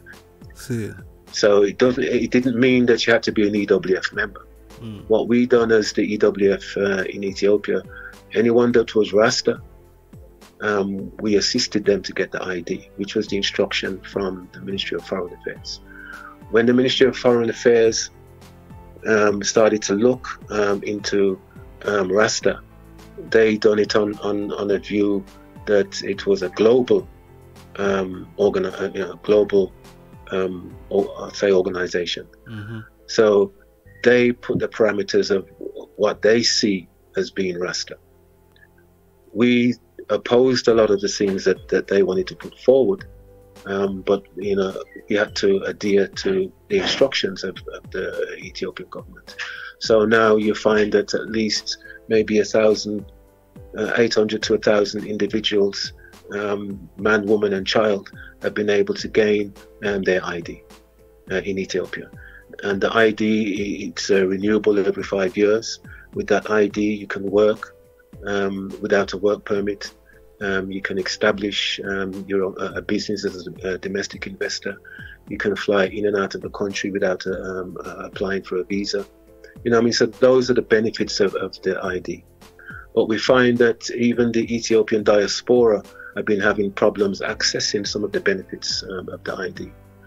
Um, and and that is the same situation that we as the Rasta community find ourselves in too. There's only certain parts um, of the benefits that we're able to access. So we're, we're still lobbying and working with the Ministry of Foreign Affairs to access um, the, the benefits. and at the same time, the Ethiopian diaspora is also making application um, to the Ethiopian government um, to access um, the benefits too. So we're all working um, together um, in terms of accessing the benefits that are duly um, being given to us as, as the Rasta community. So that part of the work I still involved with. every so, every so often, I take people to immigration. I do all the paperwork for them. I, I make the application for them. If I take you to immigration, you sit down and when I've done what I uh, need to do, I will call you. You'll come in, take they'll take your picture, you'll sign, you'll pay, and then you'll go, and that's it. So that's what the EWF, um, in in terms of the ID, is involved in, and uh, i play an instrumental um, role um, within that. Um, I also um, are, a part of um, a group called the Ancient of Days, um, where we look after our elders in Shashamane. We found that a lot of elders um, come to Shashamane. Some of them don't have no family co- um, connections. some of them don't come with adequate funds, and then find themselves vulnerable. about 11 years ago, maybe 12 years ago, Congo Rupi from the Bingi House was in um, Shashamane, and he found himself ill ended up in hospital, and there was there was nothing in place to, to look after him. Um, so myself and and um, Idor, um, through Russ Russ Wayne and a few other um, um, ones, we put this organisation together. Um, I would say I'm the coordinator of the organisation of the project. It's called the Ancients of Days. we make sure that our elders are looked after. If they need to go to the doctors, we will take them. Uh, if they need prescriptions, we will pay for it. If they need operations, we will also pay for the operations too. You know, I mean, we take them on excursions. Um, we give them a stipend. You know, I mean, we provide food parcels for them. Um, we look after all their needs uh, as, as best we can. Um, so uh, um, I've been a, a part of, uh, that uh, as a coordinator for uh, many years. Um, we've uh, we've been able to raise funds for, I would say, at least six um, of the elders um, for you know a wide range of, of, of different uh, operations, uh, mainly um, prostrate, um, which has been a problem um, that has run uh, running through uh, our community. different types of cancers, lots of different ailments, and we've been able to provide for our elders. But one of the main things that we do also is to prepare our elders for, for when they sojourn. Um, so we'll make sure that you know it's dignified. We'll make sure that we contact their families. We'll make sure that we'll raise the funds um, to give them a good send off. You know what I mean? So um, to meet with the ancestors. So th- that's a, another project um, that I do I'm involved in. Um, I also um, do free consultancy as well. I try to give uh, ones the, the information that they need my philosophy is the more information you have, um, the more choices you can make, mm. the more choices you have. True. Um, I like to give um, information to save people time and money also, uh, mainly um, within in investment. Uh, myself, um, I have my own company um, in Addis. I'm a mechanical engineer. my business partner is an electrical engineer. We put our skills together and we put a proposal um, to the government. The government gave us a piece of land and we built a nice big factory and um, we manufacture machines. Um, we provide um, services, bending services, welding services. Um, you know, we make uh, different types of uh, machines, uh, industrial machines, food processing machines. Um, Seeing? I shouldn't really say this, but I'm a, a uh, I'm a specialist um, within slaughterhouse equipment too. You know mm. what I'm mm. saying? So there's a few slaughterhouses um, in Ethiopia which I, I uh, do the maintenance um, for them. Um, periodically, they will call me in to maintain uh, machines, and um, you know, I'll make um, boilers for boiling skins, and, and, and, you know, do a lot of uh, other things. You have a lot of mills that produce, you know, wheat and, and, and different uh, types of uh, spices. Uh, provide and, and, make extraction systems for them also. So we're very versatile uh, in the work that we do. Um, we also have um, different uh, products that we um, sell um, and have in um, various supermarkets. Um, so we're, and I've been running that company with my business partners for nearly 20 years now. You know, I mean, and we're still See? there. We have uh, about nine workers. Um, one of those workers uh, we sent um, to get his master's um, in business associations. Um, we've had uh, uh, three other um, workers who I've sent to college to learn engineering, and now they teach me. They're that good. Mm. You know what I mean? So we, we've contributed and we've given back. And I try to encourage um, ones to come to Ethiopia on an entrepreneurial um, spirit more than um, just to come there on a spiritual vibe. Um, I try to encourage two or three or four brethren or sisters to get together, come to Ethiopia, establish a business. They don't have to be, all of them don't have to be in Ethiopia at the same time. You know, um, I encourage ones to um, go onto the uh, Ethiopian uh, embassy um, website um, in whichever country you are, and you can get a, all the questions that you that you have about Ethiopia are there. Ethiopia um, is asking the diaspora to come and to substitute the market because our research shows that 90% of all commodities coming into Ethiopia um, is paid by dollars. Um, so the government wants wants to come and establish business, especially in the agricultural sector, in the uh, food processing sector, engineering sector, um, science um, and, and, technology, um, to come to Ethiopia and invest. Um, the Ethiopian government gives a lot of concessions, mainly in tax and land. For example, if you uh, come to build a hotel, you'll get the land for free. You know, I mean, um, for myself in manufacturing, uh, we was able to get uh, tax exemption for the first three years of, of business. So there's lots of um, concessions being given um, to entice ones to come um, and establish businesses uh, in Ethiopia. So I, I play a, a, major role um, with with pro- providing the information um, that ones need so that they can make that decision um, to come and do business in Ethiopia. Yes, I also DJ as well. I um, promote um, um, dances too. Um, I was the manager of the first um, reggae nightclub in Addis Ababa, Ram Jam reggae nightclub, which was open six nights a week, and it, it kept its word. It was Ram Jam. it was established by myself and a 12 tribe brethren, um, Judah. Because at, at that time, you had the EWF and you had the 12 tribes in, in Ethiopia, and the EWF will keep itself to itself, and the 12 tribe would keep itself to itself. And the only time that the that you would see that the um, our pioneers would get together with, with others is uh, Christmas or if someone dies, or outside of that, everyone's doing their own thing. So, what myself and a few other um, brethren who had come into Ethiopia at that time, we said, look, if you're 12 tribe, you go and do your 12 tribe work. If you're federation, go and do your federation work. But you see, when it comes to night time, we flex. Mm. You know I mean? We, we socialize. Um, we, we that, that's where the, the real unity um, started to embrace itself in Ethiopia um, from us youths, 12 tribe youths and, and um, federation youths. And at that time, um, the Bobo Shanti uh, came into Ethiopia and they became part of that uh, unity as well.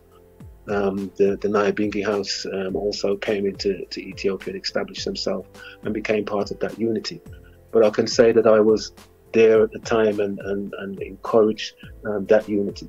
Because you, you, you had people would come from Shashamane, come to Addis, do what they got to do by seven o'clock, they're gone to bed. Whereas I wasn't on that one. You know what I mean? I'm, I'm in the capital city. I can't be going to bed at seven o'clock at night. you over so you know, the, and there were many ones who had the same feeling too. Mm. So we, you know, we used to meet, we used to advise each other, we used to socialize, you know, done with jar, we play with music, you know, I mean, we used to DJ and all kind of different things. We used, but but it was there was a that collective um, unity. If I didn't have food, my brethren had food. If my brethren didn't have food, I had food. If I had money, and my brethren didn't have money, we all had money. We shared things. You know, I mean, that was the the vibe that we you know, instilled amongst ourselves in Addis Ababa at that time. Even though um, the pioneers, they had a unity in, in Shashamane, but it wasn't strong enough because of the resources that they had, you know I mean, to make it possible um, for, for I and I to just come in. So one of my major roles is to make sure that um, to prepare the ground. We're there to prepare for ones to come in. But we don't want ones coming in, you know I mean, and just be on a spiritual level. Or we don't want ones coming to just be on a physical level. It has to be a balance. Mm-hmm. Um, we're here to make sure that ones maintain that balance and make sure that ones don't get themselves into mischief.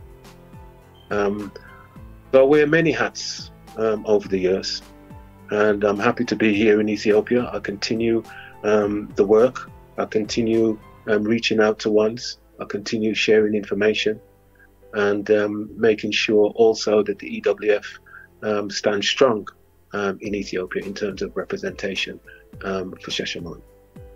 Rastafari. A lot there still. Yes, I. Yeah, man, for real, for real. I could Um, go. I could go on. For, I could go on for more still, but I'll, I'll leave it at, at, at that. Yeah, man. Um, very, very um, informative and in, um, inciting, my lad. Um, talk to me a little bit about recent occurrence um, where part of the, I think the Nyabingi tabernacle was, or a gate or something like that was destroyed. Uh, why? Yes. Um, yeah. yeah, Continue. yeah, why, why, why it had come to that? That you know, it, it um, part of the place had to be destroyed. Um, well, what I will say, it came to what it came to because of maybe one or two people um, from the administration, from the road authorities, who were impatient. Okay, there is a, um, a master plan um, for Shashamani area going back to His Majesty's time. Um, the transitional government um, at that time changed a, a lot of the blueprint. Shashamani um, followed in that suit. So at that time, the transitional government was interested in land for urban and um, industrial. So a lot of uh, all the different uh, regions um, in Ethiopia were asked or told um, by the federal government to make sure that there is land for um, urban development and also land for um, industrial um, development. So you found that a lot of the uh, land grant um, that was given to us um, in 1948 by His Imperial Majesty um, was taken um, for that development. The the grounds where the um, tabernacle um, is was earmarked for part of that development also. There were issues going on for many years pertaining to the spot where the, the tabernacle was. The women's quarters was taken. Um, a road um, uh, was was put put there, and um, the rest of the grounds was left. Um, they came along um, and said that they uh, wanted to widen the road because Ethiopia is landlocked.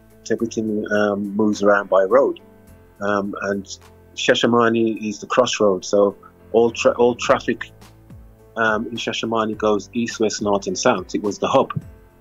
So um, traffic uh, and the movement of traffic is a major part of the development uh, of Ethiopia. So to assist um, Ethiopia in, in their development, they needed to widen the road. So the Nyabingi um, representatives went to Addis Ababa. Uh, they started off um, on a local level. They ended up in Addis Ababa to make application um, to say that no, um, they're not. Um, it's already been agreed before that the road wouldn't be widened. So why do you want to widen the road now? So while the um, the Nyabingi um, administration was waiting to get confirmation uh, from the road authorities um, in Addis Ababa um, whether they, whether they was going to allow um, the road to be widened or they was going to put a stop to it. We didn't get to that stage because there was um, a person uh, in Shashamani that got very impatient and decided to give the order to just move in one day on a Saturday morning um, and, and take down the wall um, and take um, lands from the tabernacle to widen the road. Protest um, was um, obviously um, put uh, up by the, the members of the Nyabingi. Um, and I must say that a lot of the members of the Nyabingi House in Shashamani are members of the Ethiopian World Federation too.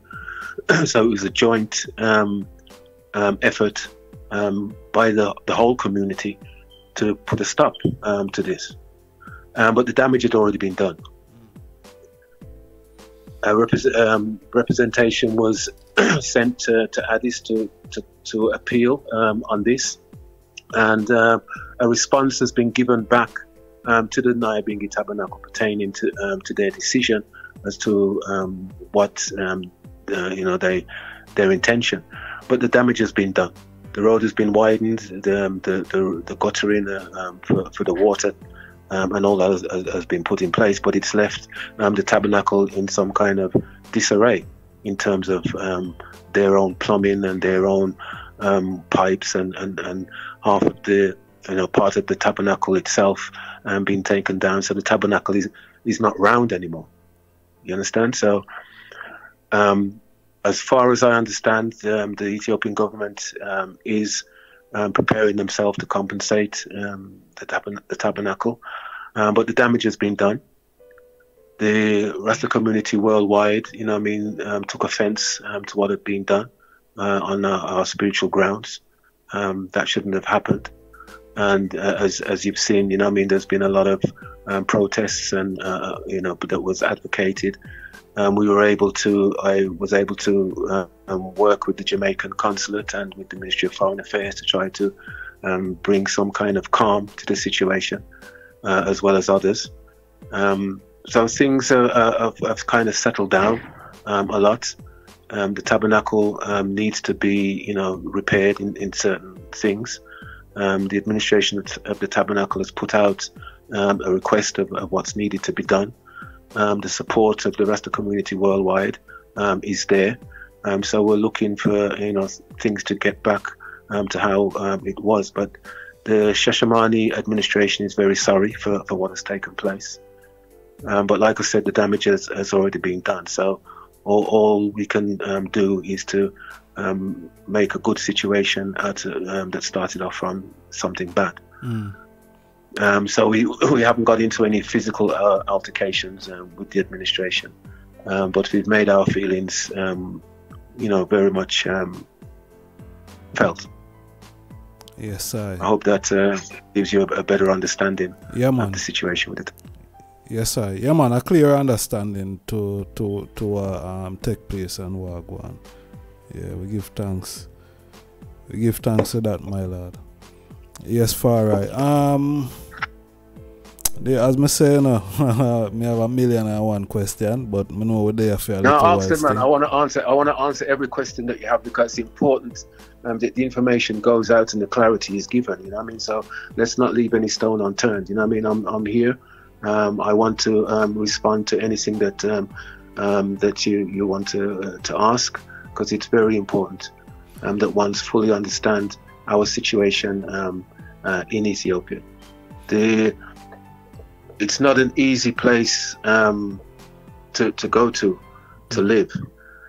You find that because Ethiopia wasn't colonized, um, it doesn't have some of the easygoing kind of um, policies that other countries in, in Africa that were colonized have. So you have to be really thick skinned and you have to really have a high risk factor within yourself um, to come to Ethiopia to say you're going to live. It's not the easiest place to, to come to, but it's the best place to be right now. Rastafari. Um, there, there, there, there, there is a lot of talks about um, land being sold mul- multiple times. Zane, and that that that that is Rastafari um, being sold land and and then when they come back few years later um, the, the land sold to somebody else or what what what have the EWF done to kind of like um, curve that fraudulent activity with, with, with, within um, within within Shashamane? Okay, well, that is a serious question. I'm glad you started off with the most hard questions first. but um, I'll say this. Okay, like I said, when I went um, first went to Ethiopia, um, the EWF um, pioneers um, had, a, had, an administration. Um, there wasn't many ones coming to settle on the land at that time. so we found that uh, the EWF was able to have a say into what took place on the land. But at the same time as the pioneers being there, there were also pioneers of the 12 tribes who were also there too. Um, and once the, um, the Derg um, government had gone, um, the lands that the Derg government had um, confiscated um, from the EWF were given to farmers associations. And the farmers associations, they were able to, they could, they wasn't allowed to live on the land, but they was able to farm the land. And what happened? Um, that the farmers were complaining that you know, I mean, it was hard for them to bring their tools um, and things um, to the land to work. So they were given permission to build like sheds to you know, keep their tools and, and such like. So after when the, the Derg um, regime left, there was a real scramble for land. Ethiopians were taking land left, right, and center. Wherever they could take land, they were taking land. The transitional government was trying to curb that, um, but the damage had already been done. So in Shashamani now, the Farmers Association, um, the individual Ethiopian farmers, um, they were given designated pieces of land in their name. Um, and once the Derg um, government um, left, they held on to those lands in their name. And all lands now belong to the government, and you can only lease land. So so because a lot of ones came to Ethiopia um, in the 90s, didn't have no visas. If you're coming from England, you could only stay uh, in Ethiopia legally for three months. So after three months, you became illegal. So that means you had no rights in the country. so it was very difficult um, to get um, land from the pioneers. Um, I myself um, tried to get um, land um, from the pioneers, but the pioneers wanted compensating for their land.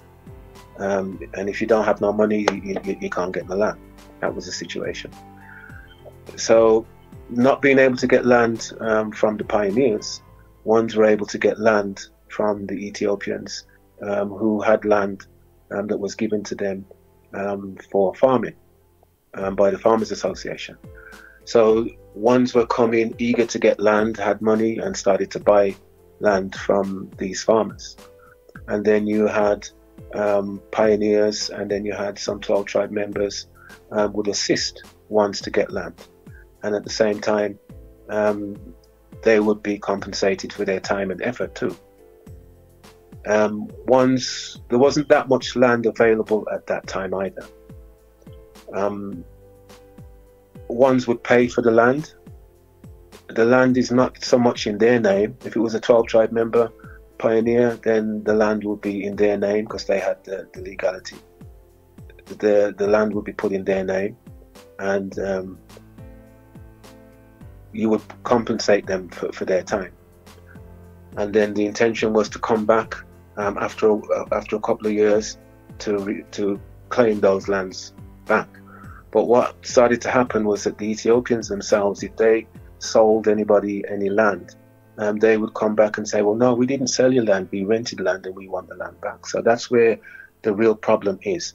There is a problem uh, amongst Rasta and Rasta, but the main problem is that the Ethiopians themselves are coming back and, to us and saying, "Well, no, because what they done as Ethiopians was illegal according to the Ethiopian law, and they could face jail time for, for selling land. So a lot of them wanted to get those lands back, and they used every trick in the book to get the lands back. Um, Ethiopia um, politics and um, is is a lot of uh, French uh, influence in terms of uh, proclamations and, and and other different um, namings for, for certain things. So you found that a lot of Ethiopians wanted their lands back, and um, we would take them to court.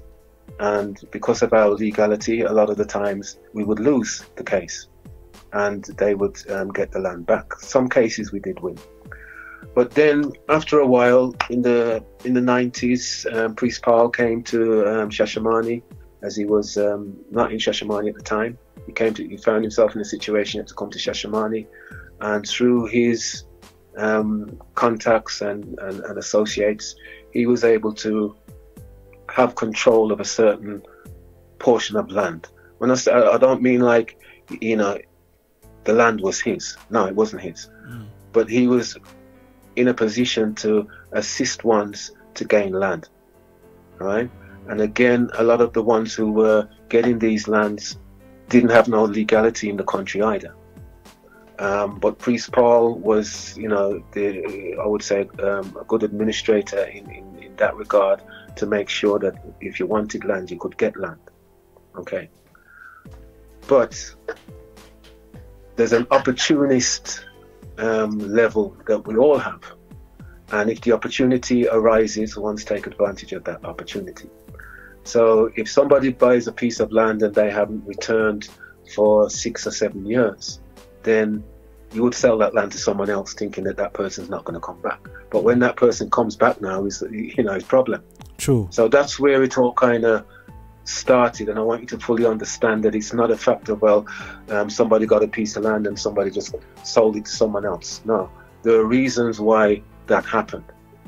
All right, and a lot of uh, individuals found themselves in a situation where they thought they had land, but the land has been sold to someone else, and then you had a situation where the person who brought that land um, the person who they brought that land from would sell that land to someone else too. And this is the Rasta and Rasta um, vibes in terms of land. Um, so that has been happening for, for a while. Um, it's been recognized uh, not just by um, the community in Shashamane, but it's become a thing that has gone out worldwide. And ones uh, around the world are, are only um, holding on to certain words. They're saying, well, oh, Rasta sell land.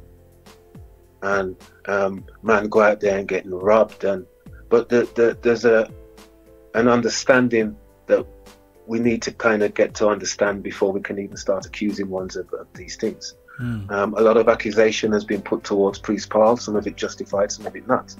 And it's not just Priest Paul. Um, there are EWF members who, who, who, have done the same.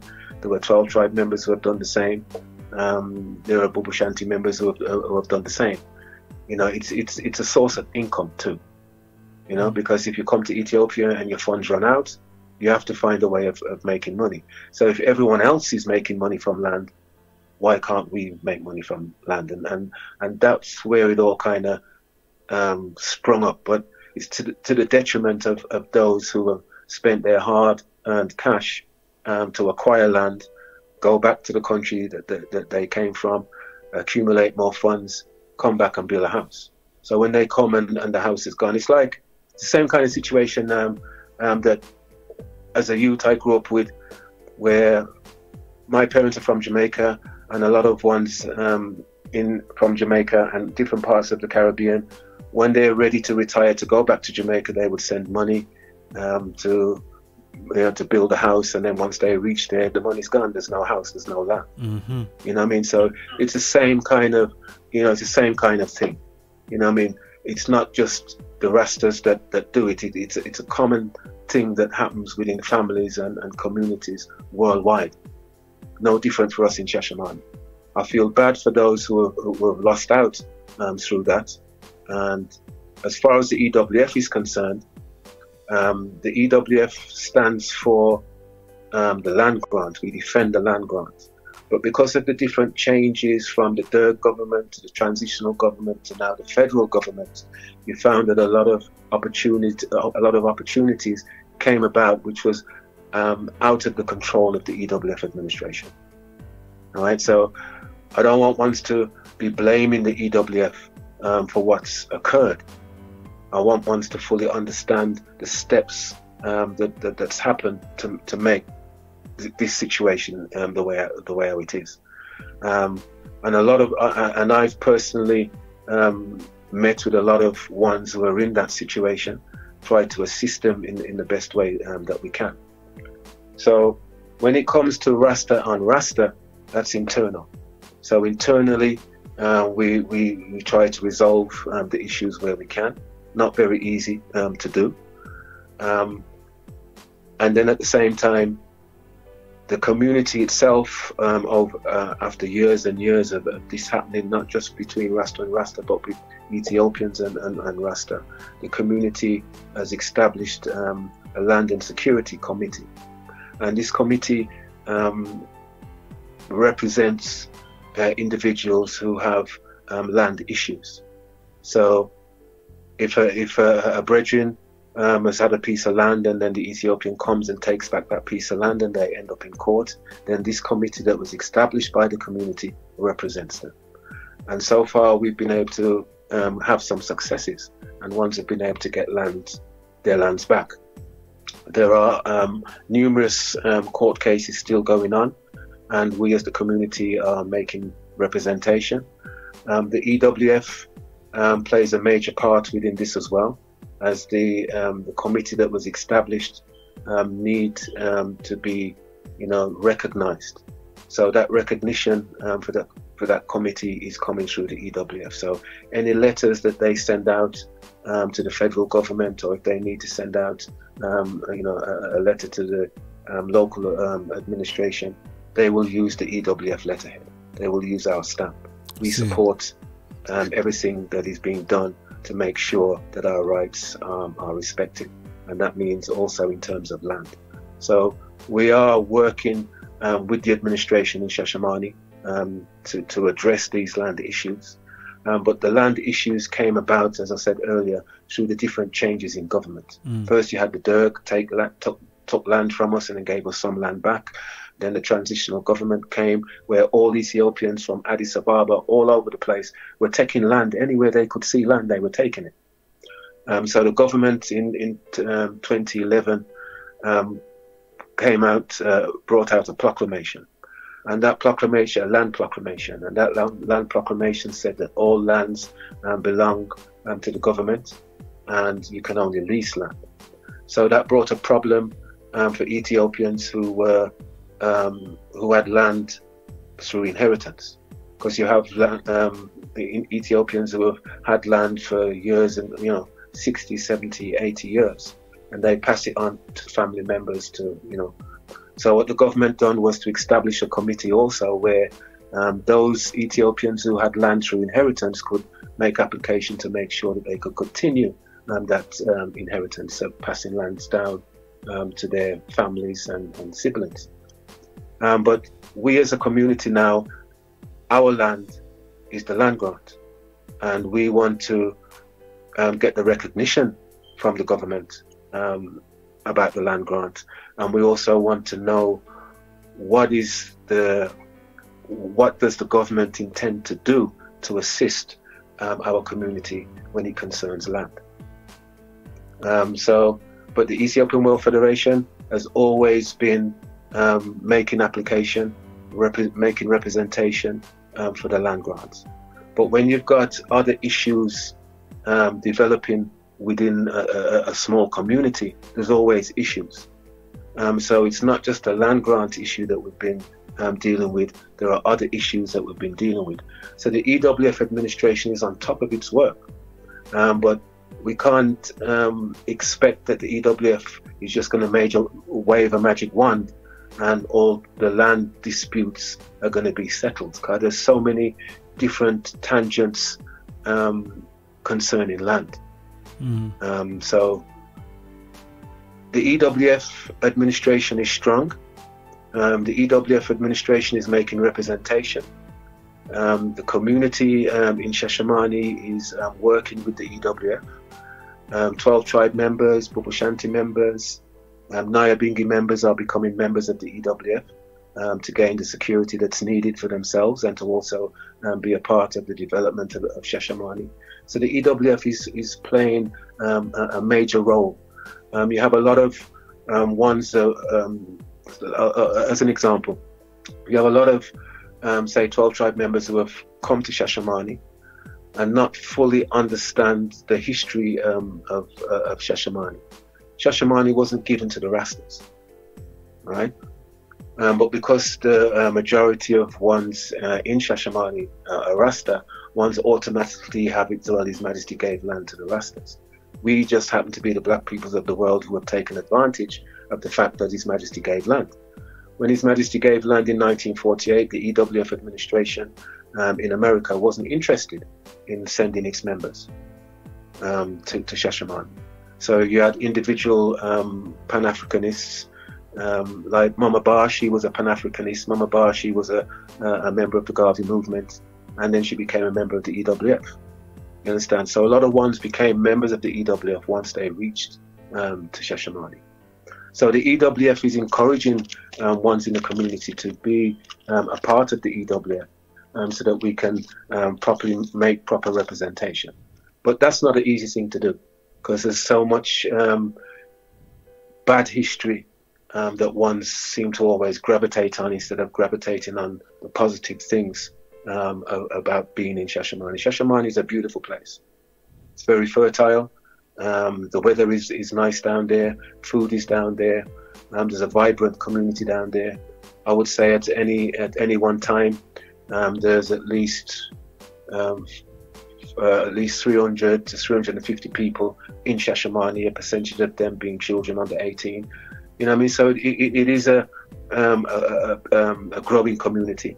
The 500 hectares of land that was originally given by His Imperial Majesty's Imperial Government, um, I would say at the moment we, uh, as, a, as a community in Shashamani, occupy, I would say, at least six hectares of that original 500 and that's not in one piece of land. That's in a piece here, a piece there, a piece here, and a piece there. Mm. Our next door neighbors are Ethiopians. We're integrating with the local community.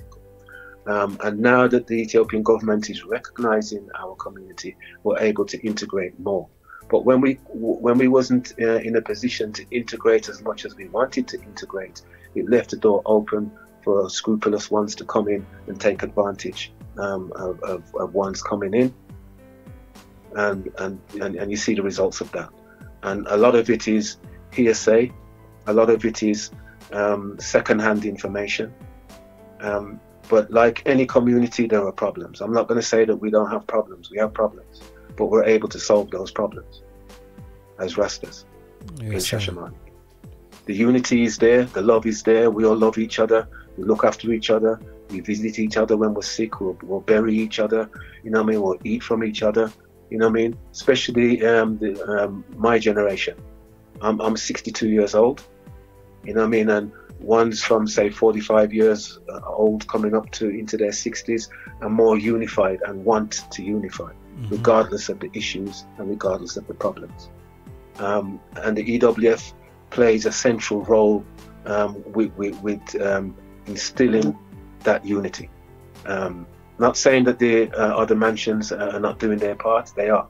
Um, but I'm an EWF member, I'm a worker um, on behalf of the EWF, and I see what goes on behind the scenes because I'm part of the behind the scenes movement mm-hmm. within the whole Shashamani um, runnings. Yes, I. I hope that answers that. Yes, yes, Reuben Kush, give thanks. Um, yeah, man. Yeah, it's been a joy reasoning with the eye. Um, been very informative. Zine. I know um, we, we, probably could go on and on and on and on. But yeah, we, we, we'll leave some of, you know, what else is in store for later. You know I mean? For another Yes, time. most definitely. Uh, I would like to um, to, to come um, come in again because um, there's still uh, you have a lot of um, questions mm-hmm. um, still that um, you would like to ask, and I'm sure once the global membership and the black communities around the world um, hear this reasoning, they will have a lot of questions too. Um, I would like to be in a position to address uh, all the questions, but before you go, I have to um, speak on the EWF. Mm-hmm. Um, the EWF um, now has an, uh, an international council. Um, I am the international second vice president. Um, we had a unity convention last year in America, and we had a convention this year um, in Ethiopia. Uh, unification um, is our theme. Um, there are now maybe about 19 different locals um, from different parts of the world who are working with the International Council. Um, unity and transparency is what we're about. We've reached out to all the other groups. You've had some of the different um, representatives from other federation groups uh, on, on your program. Um, I personally have reached out um, to these individuals and these groups um, to ask them to come and sit around the table um, so that we can work together. Some have uh, come around the table and some have chosen not to. Um, there are very skillful um, and educated members of the Ethiopian World Federation who, at the moment, are not working um, with the International Council. we are encouraging these individuals um, to work with the International Council. The Federation um, is rising at, at, this time. I'd like ones to fully understand that. Um, like any, any organization, there are uh, one or two um, issues, and some of the issues we as the International Council are addressing. Um, we don't leave any stone unturned. Uh, we're not frightened um, to confront any group or any individual who says that they represent the Ethiopian World Federation. Um, we don't want um, confusion um, within the Ethiopian World Federation, and we want um, the black peoples around the world to fully understand that the Ethiopian World Federation is moving in the right direction, even though um, there may be uh, one or two um, issues uh, with other groups. We are reaching out to the other groups. We're interacting with them in, uh, with reasoning. Um, not just myself, but the International Council and the global membership. Um, the global membership of the Ethiopian World Federation meets weekly on, on a forum where we, you know, we, we, dis- we discuss the um, the, the, business and the affairs of, of, the Ethiopian World Federation, and we want everyone to, to be involved. There are um, on an international level where ones have been saying, well, um, the EWF has neglected its registration and the EWF has neglected um, paying taxes and, and, this and that. That's not the case.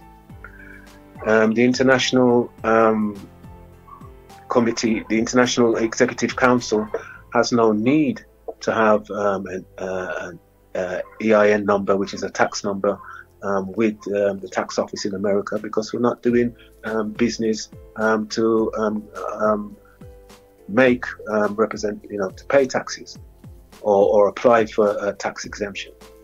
Locals, on the other hand, once they register as a, a non-for-profit uh, organization or you know any other kind of registration, um, tax exemption is part of that registration.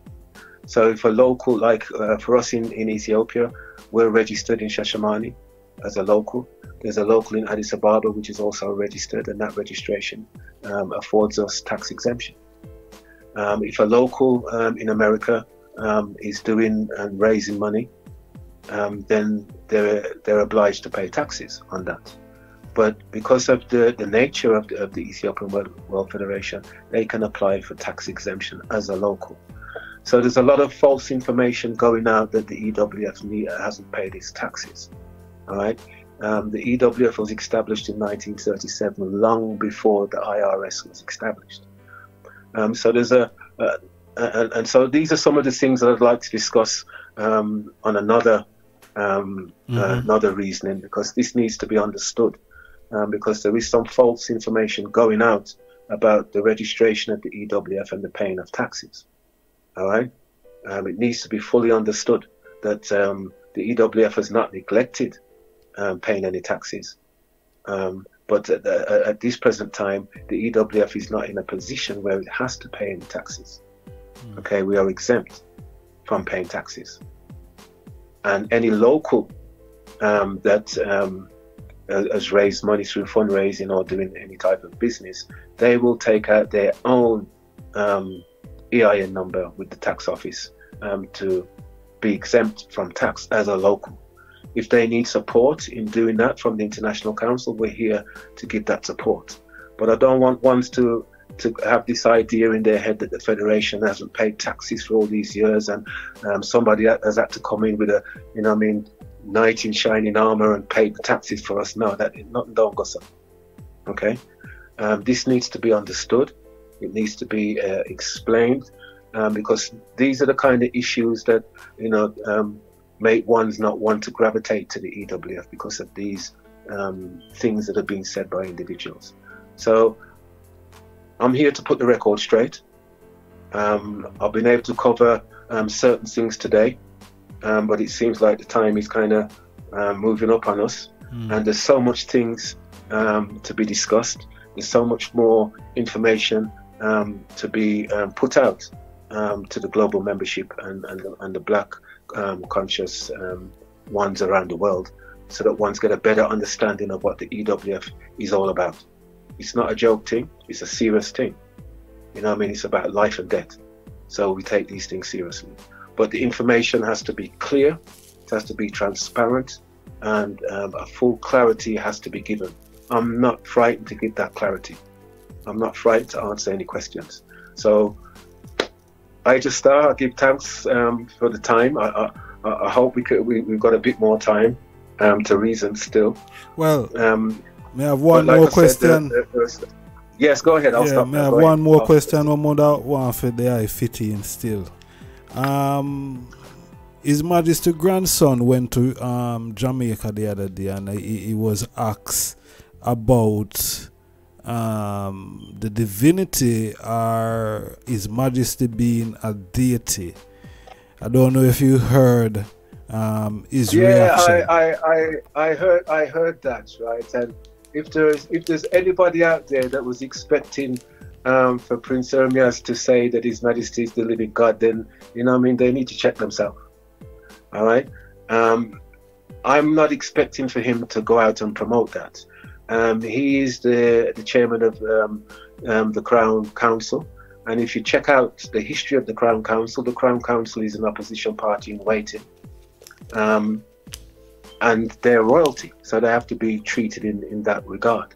So to expect, for once to expect for um, him to go to um, Jamaica and say, well, His Imperial Majesty is the living God, that's, that's not going to happen. You understand? That's not going to happen. You have to give the respect um, where where the respect is due. Mm. So any any any no one should be looking for him to be saying that he's the, that His Majesty is the living God. No, I'm not expecting to hear that from him. And I will say that um, during our convention um, in Shashamani um, in July, um, Prince Ermias was in Ethiopia, and we was able to have um, an audience with him. We had a dinner and we had a nice uh, meeting uh, with him and we was able to discuss a lot of things. And he supports the Rastafari community. He supports the EWF. He wants wants to work more closely with the Crown Council, sharing information, um, and and that's where and that's where it should be at. Nobody should be looking for him to come out and say that His Majesty is the living God. No, that, that that's not going to happen. You understand? That's not going to happen the Jamaican government knows what it's doing. You know what I mean? But the um, the Rasta um, community um, in Jamaica um, should be more um, wise Mm. and understand what time of day it is.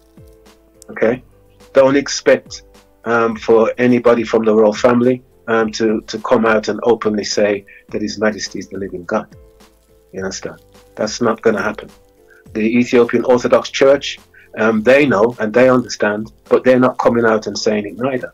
So it's about by faith. You understand? So please, um, global um, members, uh, global Rastafari community around the world, you know, what I mean, don't feel no way, um, and don't try to um, pin or push um, Prince Ermias in a corner. You understand? Um, his work as an ambassador um, for Ethiopia and as the um, chair of the Crown Council is more than what we understand. So, him going to Jamaica, um, ones need to understand that Jamaica um, is uh, in the process of entering into bilateral agreements with with the Ethiopian government pertaining to trade, pertaining to tourism, um, pertaining to business. Um, there's a lot of things happening between Jamaica and Ethiopia. So it's fitting um, for the Crown Prince um, to be in Jamaica um, at the request of the Jamaican government. But the, the, the, Jamaican government can only make that request because of the Rastafari community and what the Rastafari community stands for. So the government is playing two roles at the moment, mm-hmm. whether we like it or not. But we as the Rastafari community, we know who our, our God is. We don't need anyone to tell us who God is. Mm-hmm. That's the first thing. True. I don't need Prince Ermias or anyone to tell me who His Majesty is to me. You understand? I'm looking for Prince Ermias to um, be speaking with the Jamaican government because the Jamaican government needs to come to Ethiopia to take over the coffee industry. That's for one. Um, there's so many things um, that need to be done um, by the Jamaican government. The Jamaican government needs to work um, with the community here, which they have been doing, and the Jamaican government needs to encourage um, the Rastafari community um, to come to Ethiopia and also assist them to come to Ethiopia as well. That's what we should be lobbying for. We shouldn't be concerned about somebody telling us who our God is. No, it don't work like that. So I respect the king I, uh, as my God, head, and I also respect the prince as the grandson. You understand? Um, you've got uh, Zera Yacob um, is here uh, in Ethiopia, um, being um, really maintained and looked after by the rest of the community too. Yoba. So everything in its time and everything in its place. But we have to be wise in this time. We have to see what's going on around the world. So don't um, try to, you know, I mean, make it into an issue. It's not an issue. There should be no issue. Um, my parents don't see His Imperial Majesty as God. And because I'm a Rasta, you understand? If anybody asks my parents, well, your son is a Rasta, so is Haile Selassie God? My parents can't answer that question, and I don't want them to answer that question. Mm-hmm. You know, so I don't expect Prince Ermias to be in Jamaica answering that question. And if he answers it in the way how he sees fit to answer it, that ones are going to chastise him. No, that shouldn't be the case. Ones need to be a bit more diplomatic. Right? We need to um, be able to integrate with peoples around the world. And that's where it's at right now, for the benefit of the black peoples. And that's what the Crown Council is doing. And I support the Crown Council. I support Prince Ermias. And you know what I mean? Give thanks that he was able to meet um, with um, the Rasta community. There were some um, uh, of the Rasta community that decided not to, you know, be around the Crown Prince. And that's because of Jamaican politics, where we're not into the Jamaican politics. So I, don't, I can't understand why ones would use Jamaican politics as, a, as an excuse as to why they not gonna, you know, be around the Crown Prince. The Crown Prince is in in, in Jamaica. It should be the rest of the community that sees security, mm-hmm. and that's what we should be telling Babsy Grange. Sorry, Babsy, we don't need your police. Our our, our prince is here. We will look after our prince. That's what should be um, said um, to, to Babsy Grange and the Jamaican government. That's what one should be lobbying about, not boycotting. But but, you but, but one's supposed to be there to look after the crown prince. I mean, so, sorry, to look after Prince Zera Yacob. I mean, sorry, Prince Ermias. But that's the way I see it. Still, I'm here in, in Ethiopia on the ground, so I'm probably a little bit behind with mm. some of the reasoning out there. But on a practical level, no, one shouldn't be looking for Prince Ermias to be saying that His Majesty is God. No, he doesn't need to do that. He's got other pressing um, duties to perform while he's in Jamaica. And the only reason he's in Jamaica because of the Rastafari community. So the Rastafari community shouldn't um, leave him out there in the cold like that. That's my vote. That's my view. We are the security for the royal family. That's it. Give thanks. Give thanks. Yes, I Rastafari. Yes, Reuben Kush, it's been an honor and a pleasure. Yeah, for reason with the man and you know yeah, for the I share such um, eloquent knowledge and information, you know, with with with the message, the masses at at, at large. You know, we give thanks um, that we could connect from, you know, from Earth to Zion. It's uh, it's a great thing, and you know, I I give uh, much manners and respect to the I in you know what the I stand for, what the I been doing um, for the Rastafari community and for black people worldwide. So give thanks again, my lord, for the eye taking the time. You know, it's surely an honor and a pleasure. Yes, I give thanks, um, Ijah Star. Um, I'd say Federation Rising, that's for sure. And uh, I, I, give thanks that you have um, the platform. Um, the technology is um, giving us that opportunity to able to spread the message and spread the word uh, and clarify things that would normally take months to clarify. Mm-hmm. Um, as a youth, you know, I mean, you want to uh, meet somebody, you got to go to the phone box. You got to have change to put into the phone. Mm-hmm. Um, but nowadays, it, not not like that. The phone don't even have no wire. You over so we're, we're embracing um, this new technology um, for the benefit of, of our community, and that's what we should be focused on. Yes, not sir. the squabbling. Leave the squabbling to those who want to squabble. And those who want to squabble, you know, I mean, they can go somewhere private and have that squabble. But um, on, on, an international um, footing, um, we're here to share information and encourage ones to look um, into Ethiopia, um, um, get the information that's needed to come to Ethiopia and plan and, and be wise in their movements. True. True, true. So again, um, I just uh, I give enough thanks, and um, I pray that um, uh, we can continue um, um, this uh, this dialogue because I know you have a bag of questions, and I want to make sure I answer all your questions. Yes. Um, so whenever you feel the time is right, just hook me up. Yes, far right. Giving thanks, yeah, and to the global Black family. Uh, again, I, I, give thanks for one's time that ones are given to, to hear um, this information.